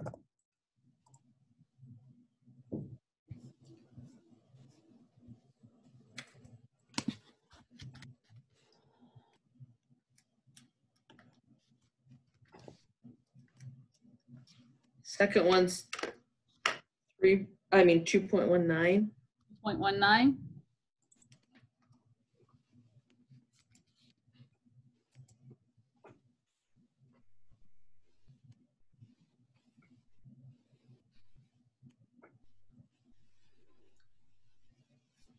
Are those numbers just tiny on your screens? Depends on how big your monitor is. Is it little or is it big? Are you on the laptop or a big desktop? Last one is 0.75. Did I do that right? Yep. So compared to the beginning, what happened to our t values? Looks like they're cut in half. Yeah, they That's look cut in half? They're cut in half. So which one is that? Divide by two? Yep.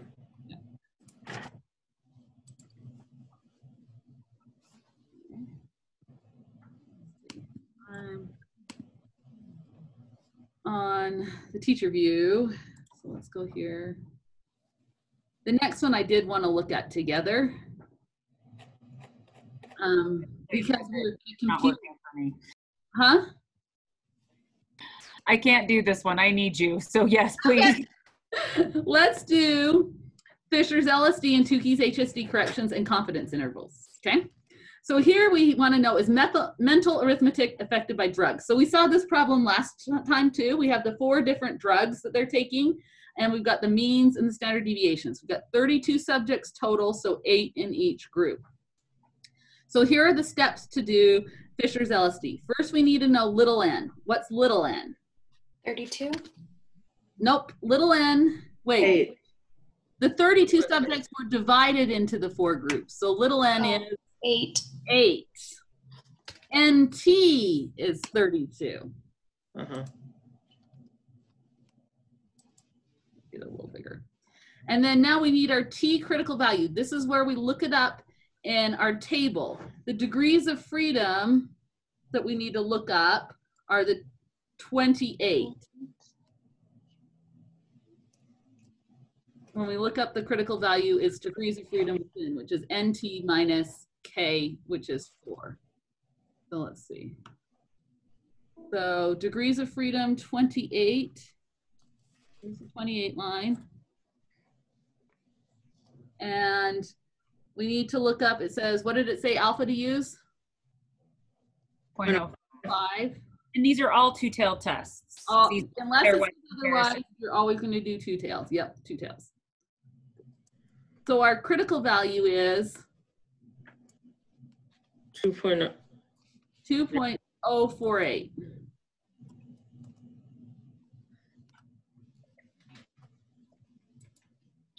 Okay. Now we need mean squared within. We found this way back on homework 12, number 7 fact, I told it to you because I didn't want us to be number crunching for so long. It was 10.1089. Do you remember that number now? Does that ring a bell? And you could find it by squaring all the standard deviations, adding them up and dividing by four. But, yeah. Now we do Fisher's LSD. So this formula box right up here.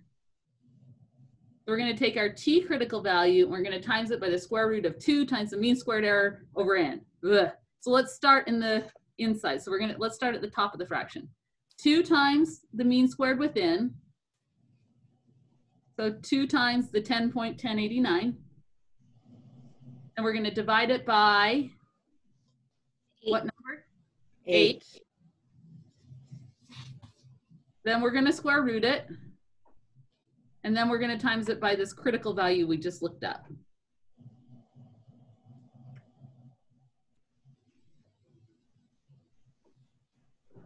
Shout it out when you get there.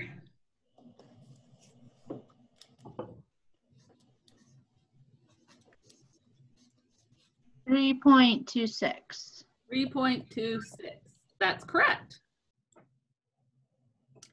This tells us that if two groups have to have averages this far apart to be statistically significant, this is the least amount groups can be separated by in the averages to be considered statistically significantly different.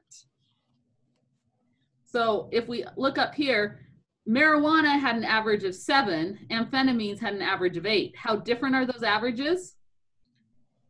One, is that that far apart? No, one is not 3.26 apart. So it's those two averages, marijuana and amphetamines, are not different. But what about amphetamines and alcohol? How far far apart are those averages? Eight and four. How far apart are they? Eight take away four, they're four apart. Is that statistically significant? Yes. Because they're over 3.26 apart. So Fisher's LSD gives you a measuring stick to say they've got to be at least this far apart to be different. If they're closer than that amount, then we can't say they're different. That's the least significant difference. LSD, least significant different. It's the least amount they can be apart and still be different. And then Tukey, he was a smart aleck and he's calling his honestly significantly different. Because you need to be honest. And he didn't think Fisher was doing it right. So to do this one, we have to calculate the components. First, we've got to do this Q value. And when you, we're going to enter what degrees of freedom you should look up on the table, not the true value. So when we do a Q value, the first number is not degrees of freedom. The first number is the number of groups. And how many groups do we have? Four. The second number is the degrees of freedom within. And the formula was up here. What was the total sample size minus K? We already figured out that that's 28. 28. So we need to go to the Q table to 4 and 28. So it's, it's A11. I'm going to turn mine around. There it is.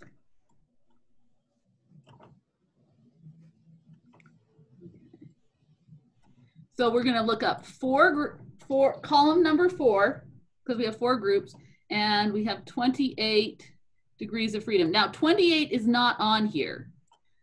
So what's the closest? Should we go with 30 or should we go with 24? 30. We go with 30 and four groups. Oh, wait, wait, wait, wait.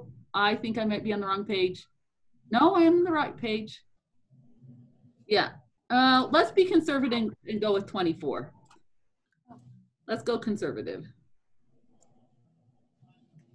So even though 30 is closer, we're going to be conservative and just go with 24. So, So we what- put 24 in the on the homework. Yes, it's because it says put the degrees of freedom you actually looked up, not what it should be. Right. And that was 3.90. So Tukey's HSD formula is a little bit different. We don't times the mean squared error by two. We just take it and divide by n. What was n? Eight. So we're going to take our 10.1089 divide by eight square root it and times by 3.9. And I'm not getting that answer to work in the answer key. What did you get? 4.33. Um, I got point point four point three eight written down. Well, I've got both of them written down. I've got one scratched out. I got 0.38 as well. So let's I got see. Three, And two. The answer in the back of the book is something totally different. They used a critical value in the back of the book of 3.87 that doesn't even exist on the table. I know they did linear interpolation, aren't they Oh, fun? that way. If you look up 28, it says 3.9. If you look up 24, it says 3.87. So they like split the difference. mm, that's what Back of the book is just, you know, all kinds of fun. So if you use three, that should work. It should be 4.38. Right. Totally agree. There we go. Okay. Beautiful. So according to Fisher's ruler, y- groups have to be 3.26 apart to be significantly different. Tukey's um, formula says to be different, they have to be 4.38 apart. Are they close to the same number? Yeah. Which one's more strict? Tukey's. Tukey's is always going to be a bigger, Tukey's HSD will always be a bigger number than Fisher's LSD because it has a bigger requirement. So now the next one is asking you to do confidence intervals, but because the order you subtract in can make a difference, we made them drag and drop. so the first one is Valium and alcohol. So if we look up at our table, Valium and alcohol, how different apart are their averages? Five and four. We subtract and we get one. One. So one plus or minus 4.38. Oh, and now these are three threes because they are, they were using the other number. Let me fix those.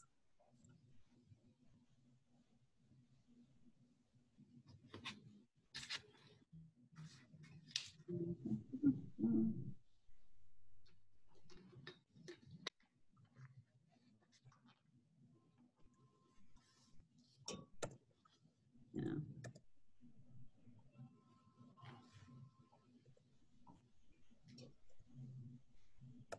There.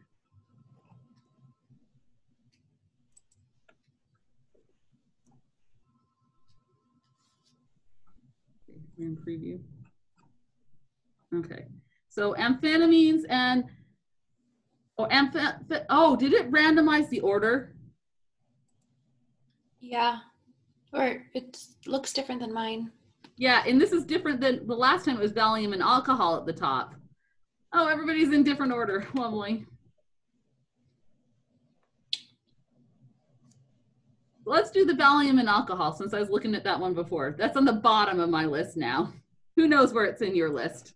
Valium and alcohol. Their averages are one apart, but we're going to plus or minus Tukey's HSD of 4.38. So if we subtract it, we'll get negative 3.38. And if we add it, we'll get positive 5.38. Well, what if we subtract in the other order?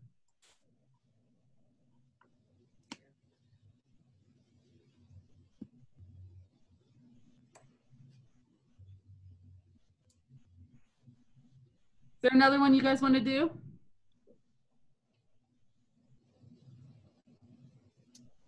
Yeah.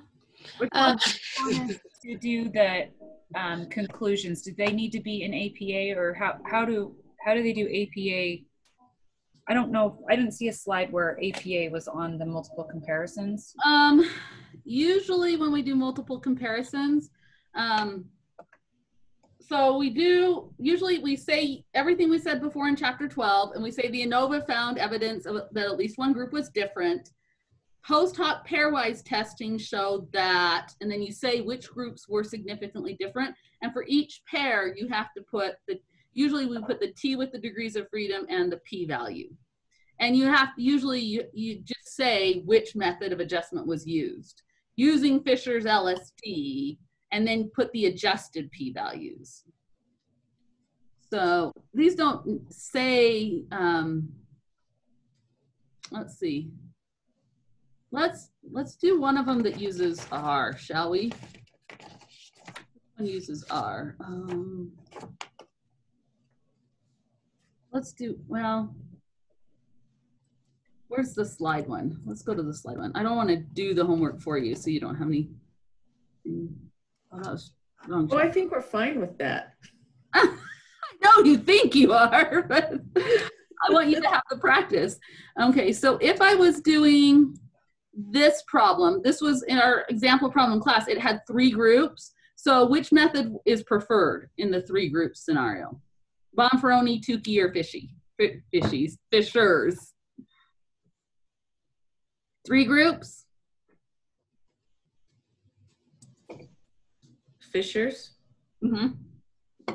So after we say that the ANOVA found evidence of at least one group was different, then you say, using Fisher's LSD adjustment on all possible pairwise tests, it was found that the no music groups significantly differed from classical. T with 12 degrees of freedom equals 2.98, comma, P equals 0.11100. Here, should I get a little here, I'm gonna, I'm gonna get in open word. So I can type instead of just talk.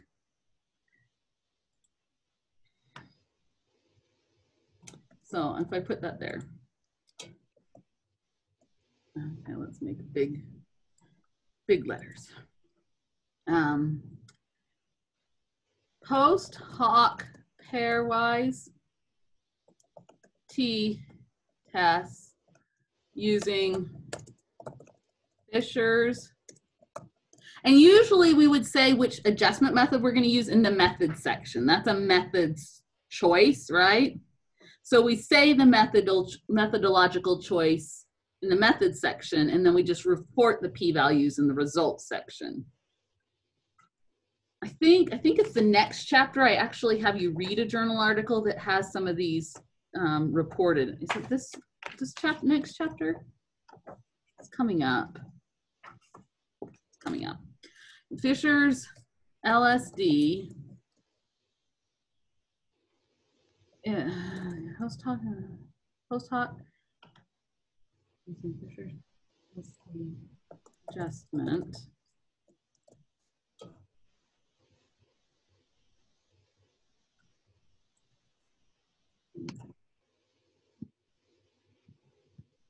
Uh, found that the no, the found that participants who memorized the words in quiet and we would want to say direction. So we don't just say it's different. We say memorized more words than those listening to classical music. And that's where we would say our T and our P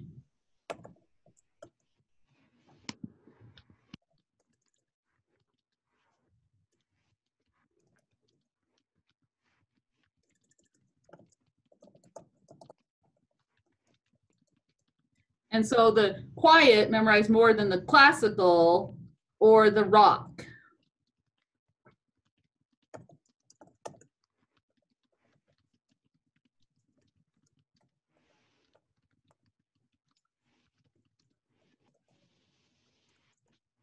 The, there was no evidence of a different, the difference between the two music types.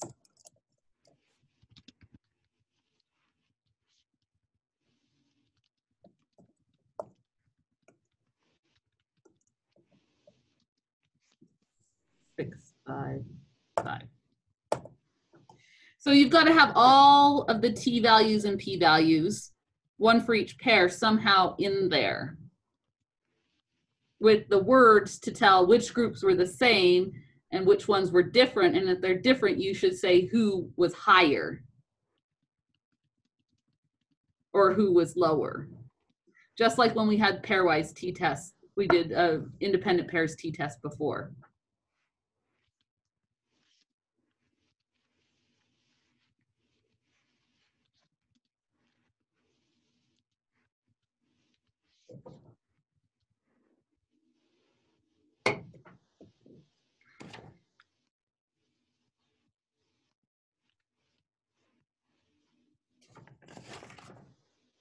Trying to look through the homework and see if I can find any that I think might cause a little stumble. Has anyone tried any of them that might stumble? Kimberly, you were seemed like you'd tried them out before. Oh, I got stuck and had to quit at the queue. I was like, I can't stress out about this anymore. I gotta ask you. Don't stress out about this class. If you get stuck, you email me and see if you can come to office hours tomorrow. Yes, don't don't get an ulcer over this, please. Okay. I was just like, I could not figure out why they picked four three point eight seven. I mean, I don't know why that tripped me up so bad, but it was stressing me out from the back of the book. I'm like, that's I know. In right. the back of the book, it drives me crazy because sometimes they round down and sometimes they round up, and then randomly they interpolate. without telling you. Yes. And it's like, how did they? I mean, it's just like randomly crops up. It makes me wonder. I'm sure that Barry Cohen just had grad students. Okay, you grad student, you do this chapter, you do that chapter, and they were just weren't cohesive. It's not wrong. That's what you know a table with more decimal places would do, and a computer would find the exact value. So it's not wrong. It's just not consistent which I like consistent.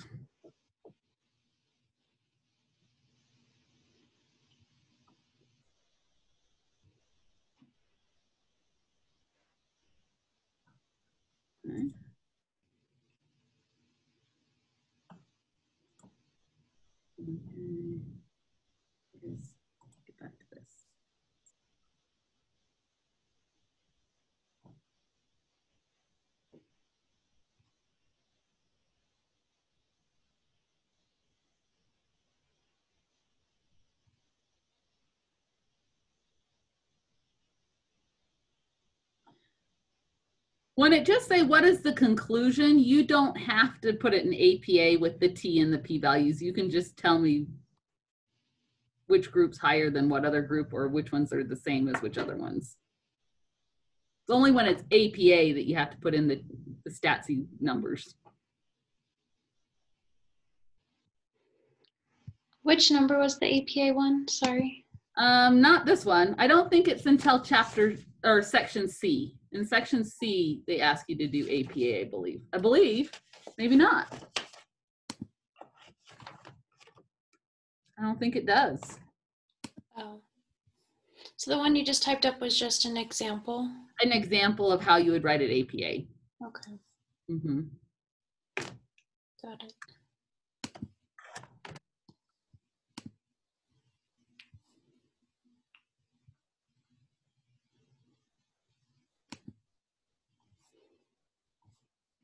So we did it with eight subjects per group. And then the next one says, what if instead you'd had 16 per group? How does that change it?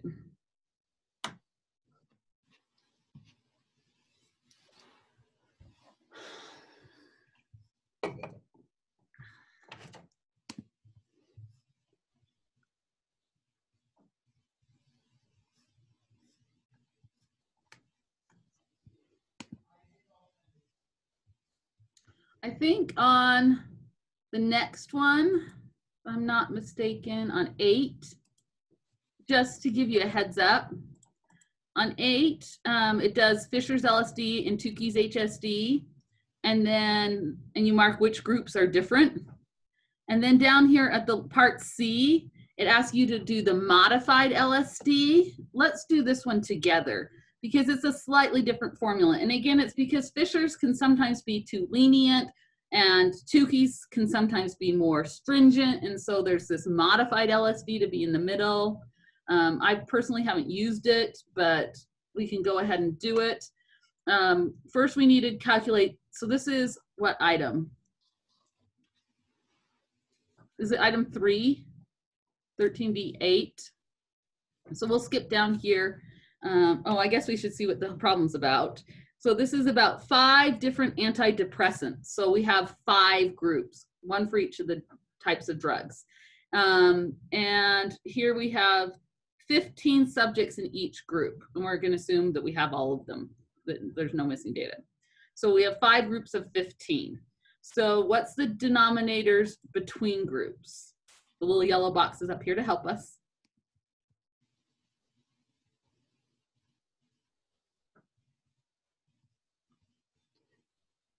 Four. Four. Five groups, degrees of freedom between is four. And then what's the within groups?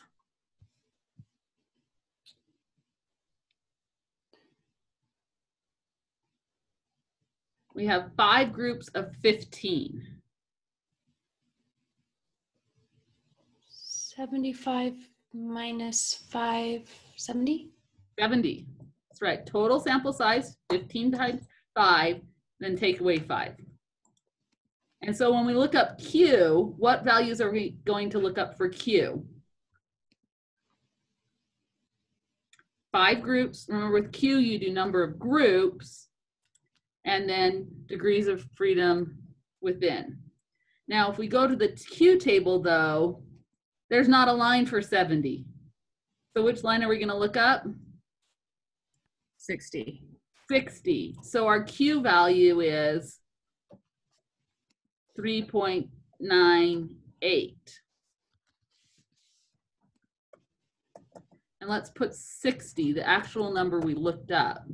I think that's, oh. I need to fix that. Oh, oh, oh, oh, oh. Says look at page 424 on the textbook. I, I remember this now. This is a funky one. Um, yeah, you have your book handy. You to have a paper book. What page was it? 424. I've got it open. Yeah, so when you look up the Q value, instead of using five groups, you use degrees of freedom between, right? Uh, it says use book page what? 424. The bottom of 424, it talks about the modified LSD, Fisher-Hayter test. Says K minus one. So we use K minus one instead, so this should be four instead of the usual five. So our, it's not 3.98, it's 3.74. four. It's been a while since I did that one. And so that's the Q value that we times the square root of MSE over N. And MSE we do up above and then N is 15. So we had 15 per group. So we have 3.74 Is the Q value. right? and then the MSW. You have to go back up here. We had five groups of 15 for a total of 75. So we need to do, how do we get mean squared error, mean squared within? Square all the SDs, add them up, divide by five. Take all your square, N your, is 5 or 15? Hmm? N is 5 or 15? oh, 15, you're right. 15 per group. K is five. Yeah. You'll have to take all your SDs, square them, add them up, divide by five to get mean squared error. Say that one more time. Take all of the, Standard deviations, okay, square them. square them, add them up, divide by five since there's five of them. Oh, okay.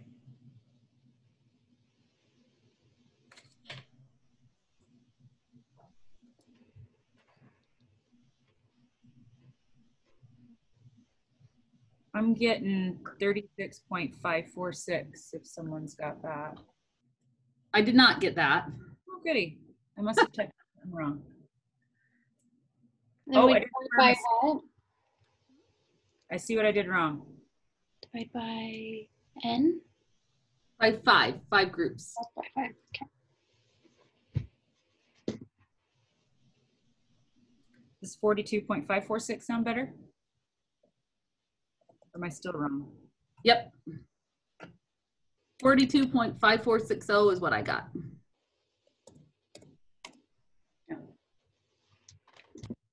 So that's the MS within, mean squared within that goes down here in this formula. It was forty-two point five four. Six zero. Because four decimal places. Okay.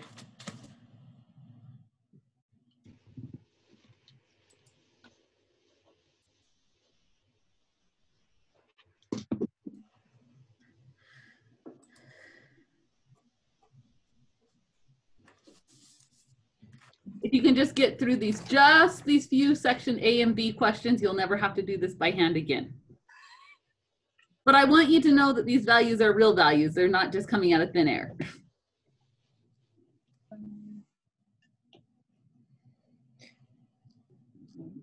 N is fifteen. N is 15. Okay.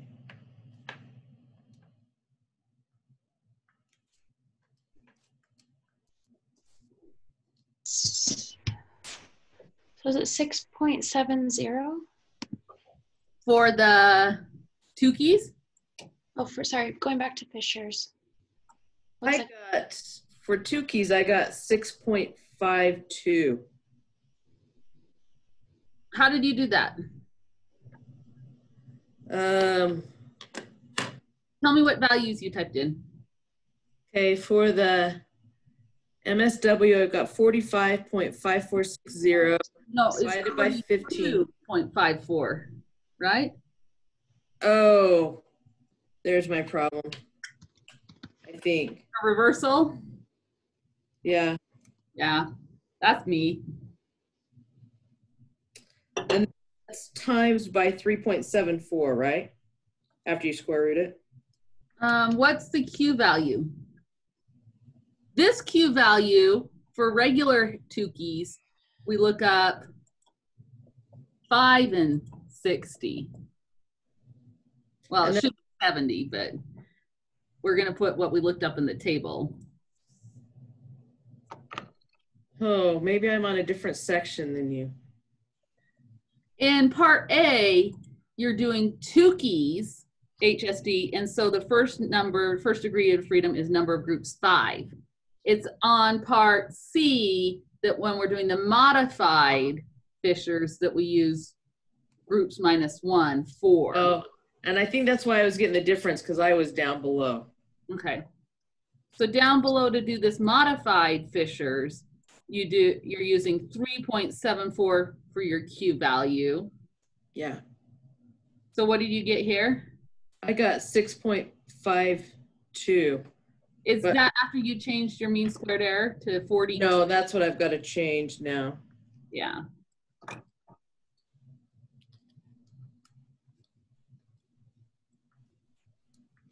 So I'm trying to figure out, let's see, uh, on Tukey's, the formula for HSD, Mhm. and then down below, the modified LSD, they look exactly the same. The difference is the Q value. When you do the modified LSD, when you look up the Q, the first number should be K minus one versus when you do a regular HSD, it's just five groups. Oh, okay. So that Q number is different. That's the only part that's different, is Oh. How you look up the Q value. can we start at the top? I'm thinking I was working on a different area. Getting them crossed So- up. That's um, what I'm worried about. Okay, so 42. here's the top. This is part A. Point. 15 per group of five for a total of 75, mean squared within. Okay. One we look up, our degrees of freedom are five and 70, but we really look up 60. Okay. And then I can figure that out. Now can we look down at section C? I'm just trying to make sure I wasn't writing them in the wrong area. Section C, instead of, you- when you look up Q, instead of doing five groups, we do degrees of freedom within or between four. Oh, yeah. So we move over a column in the Q table. And I got six point three zero for that answer. Yep. Okay. I just had one of the numbers in the wrong 'em place. crossed over, yeah. Mhm. Well, You guys, we're out of time. That went by fast. Can you believe how fast it went? You got a good start on the homework though. Get your Thank feet you for your help. Yeah, definitely. So um, I want you to focus more. I mean, you've got to dredge through a couple of these by hand, but starting in section C, most of them are with R, not by hand. And so it's more on the meaning. There's three of them in section C, one, two, and four. So tomorrow we'll have office hours at seven. Um, if you guys need office hours again on Friday, email me and we can set something up. Preferably for the morning-ish hours. Awesome. Thank you, Sarah. Sure thing. Thank you so much, Sarah. Thanks. Thank you very much. Okay, you guys are doing great. You're gonna make it, I mean, really, the next chapter when we, the only thing we're gonna add in the next chapter is instead of one-way ANOVA, they're two-way ANOVA. So instead of one grouping variable, we have two grouping variable. And the complexity is interactions. You can get over interactions, the rest of the class starts to taper off as far as difficulty level. So we're really getting on, next class will be the pinnacle as far as difficulty in this class. Last chapter 12 was probably the heaviness of hand calculations, but the ideas of an interaction are like the major big idea left in this class. So you'll make it. You're getting there. Okay. All right. I'll get this processing and get it up on YouTube. Okay. Bye. All right, thanks. Bye.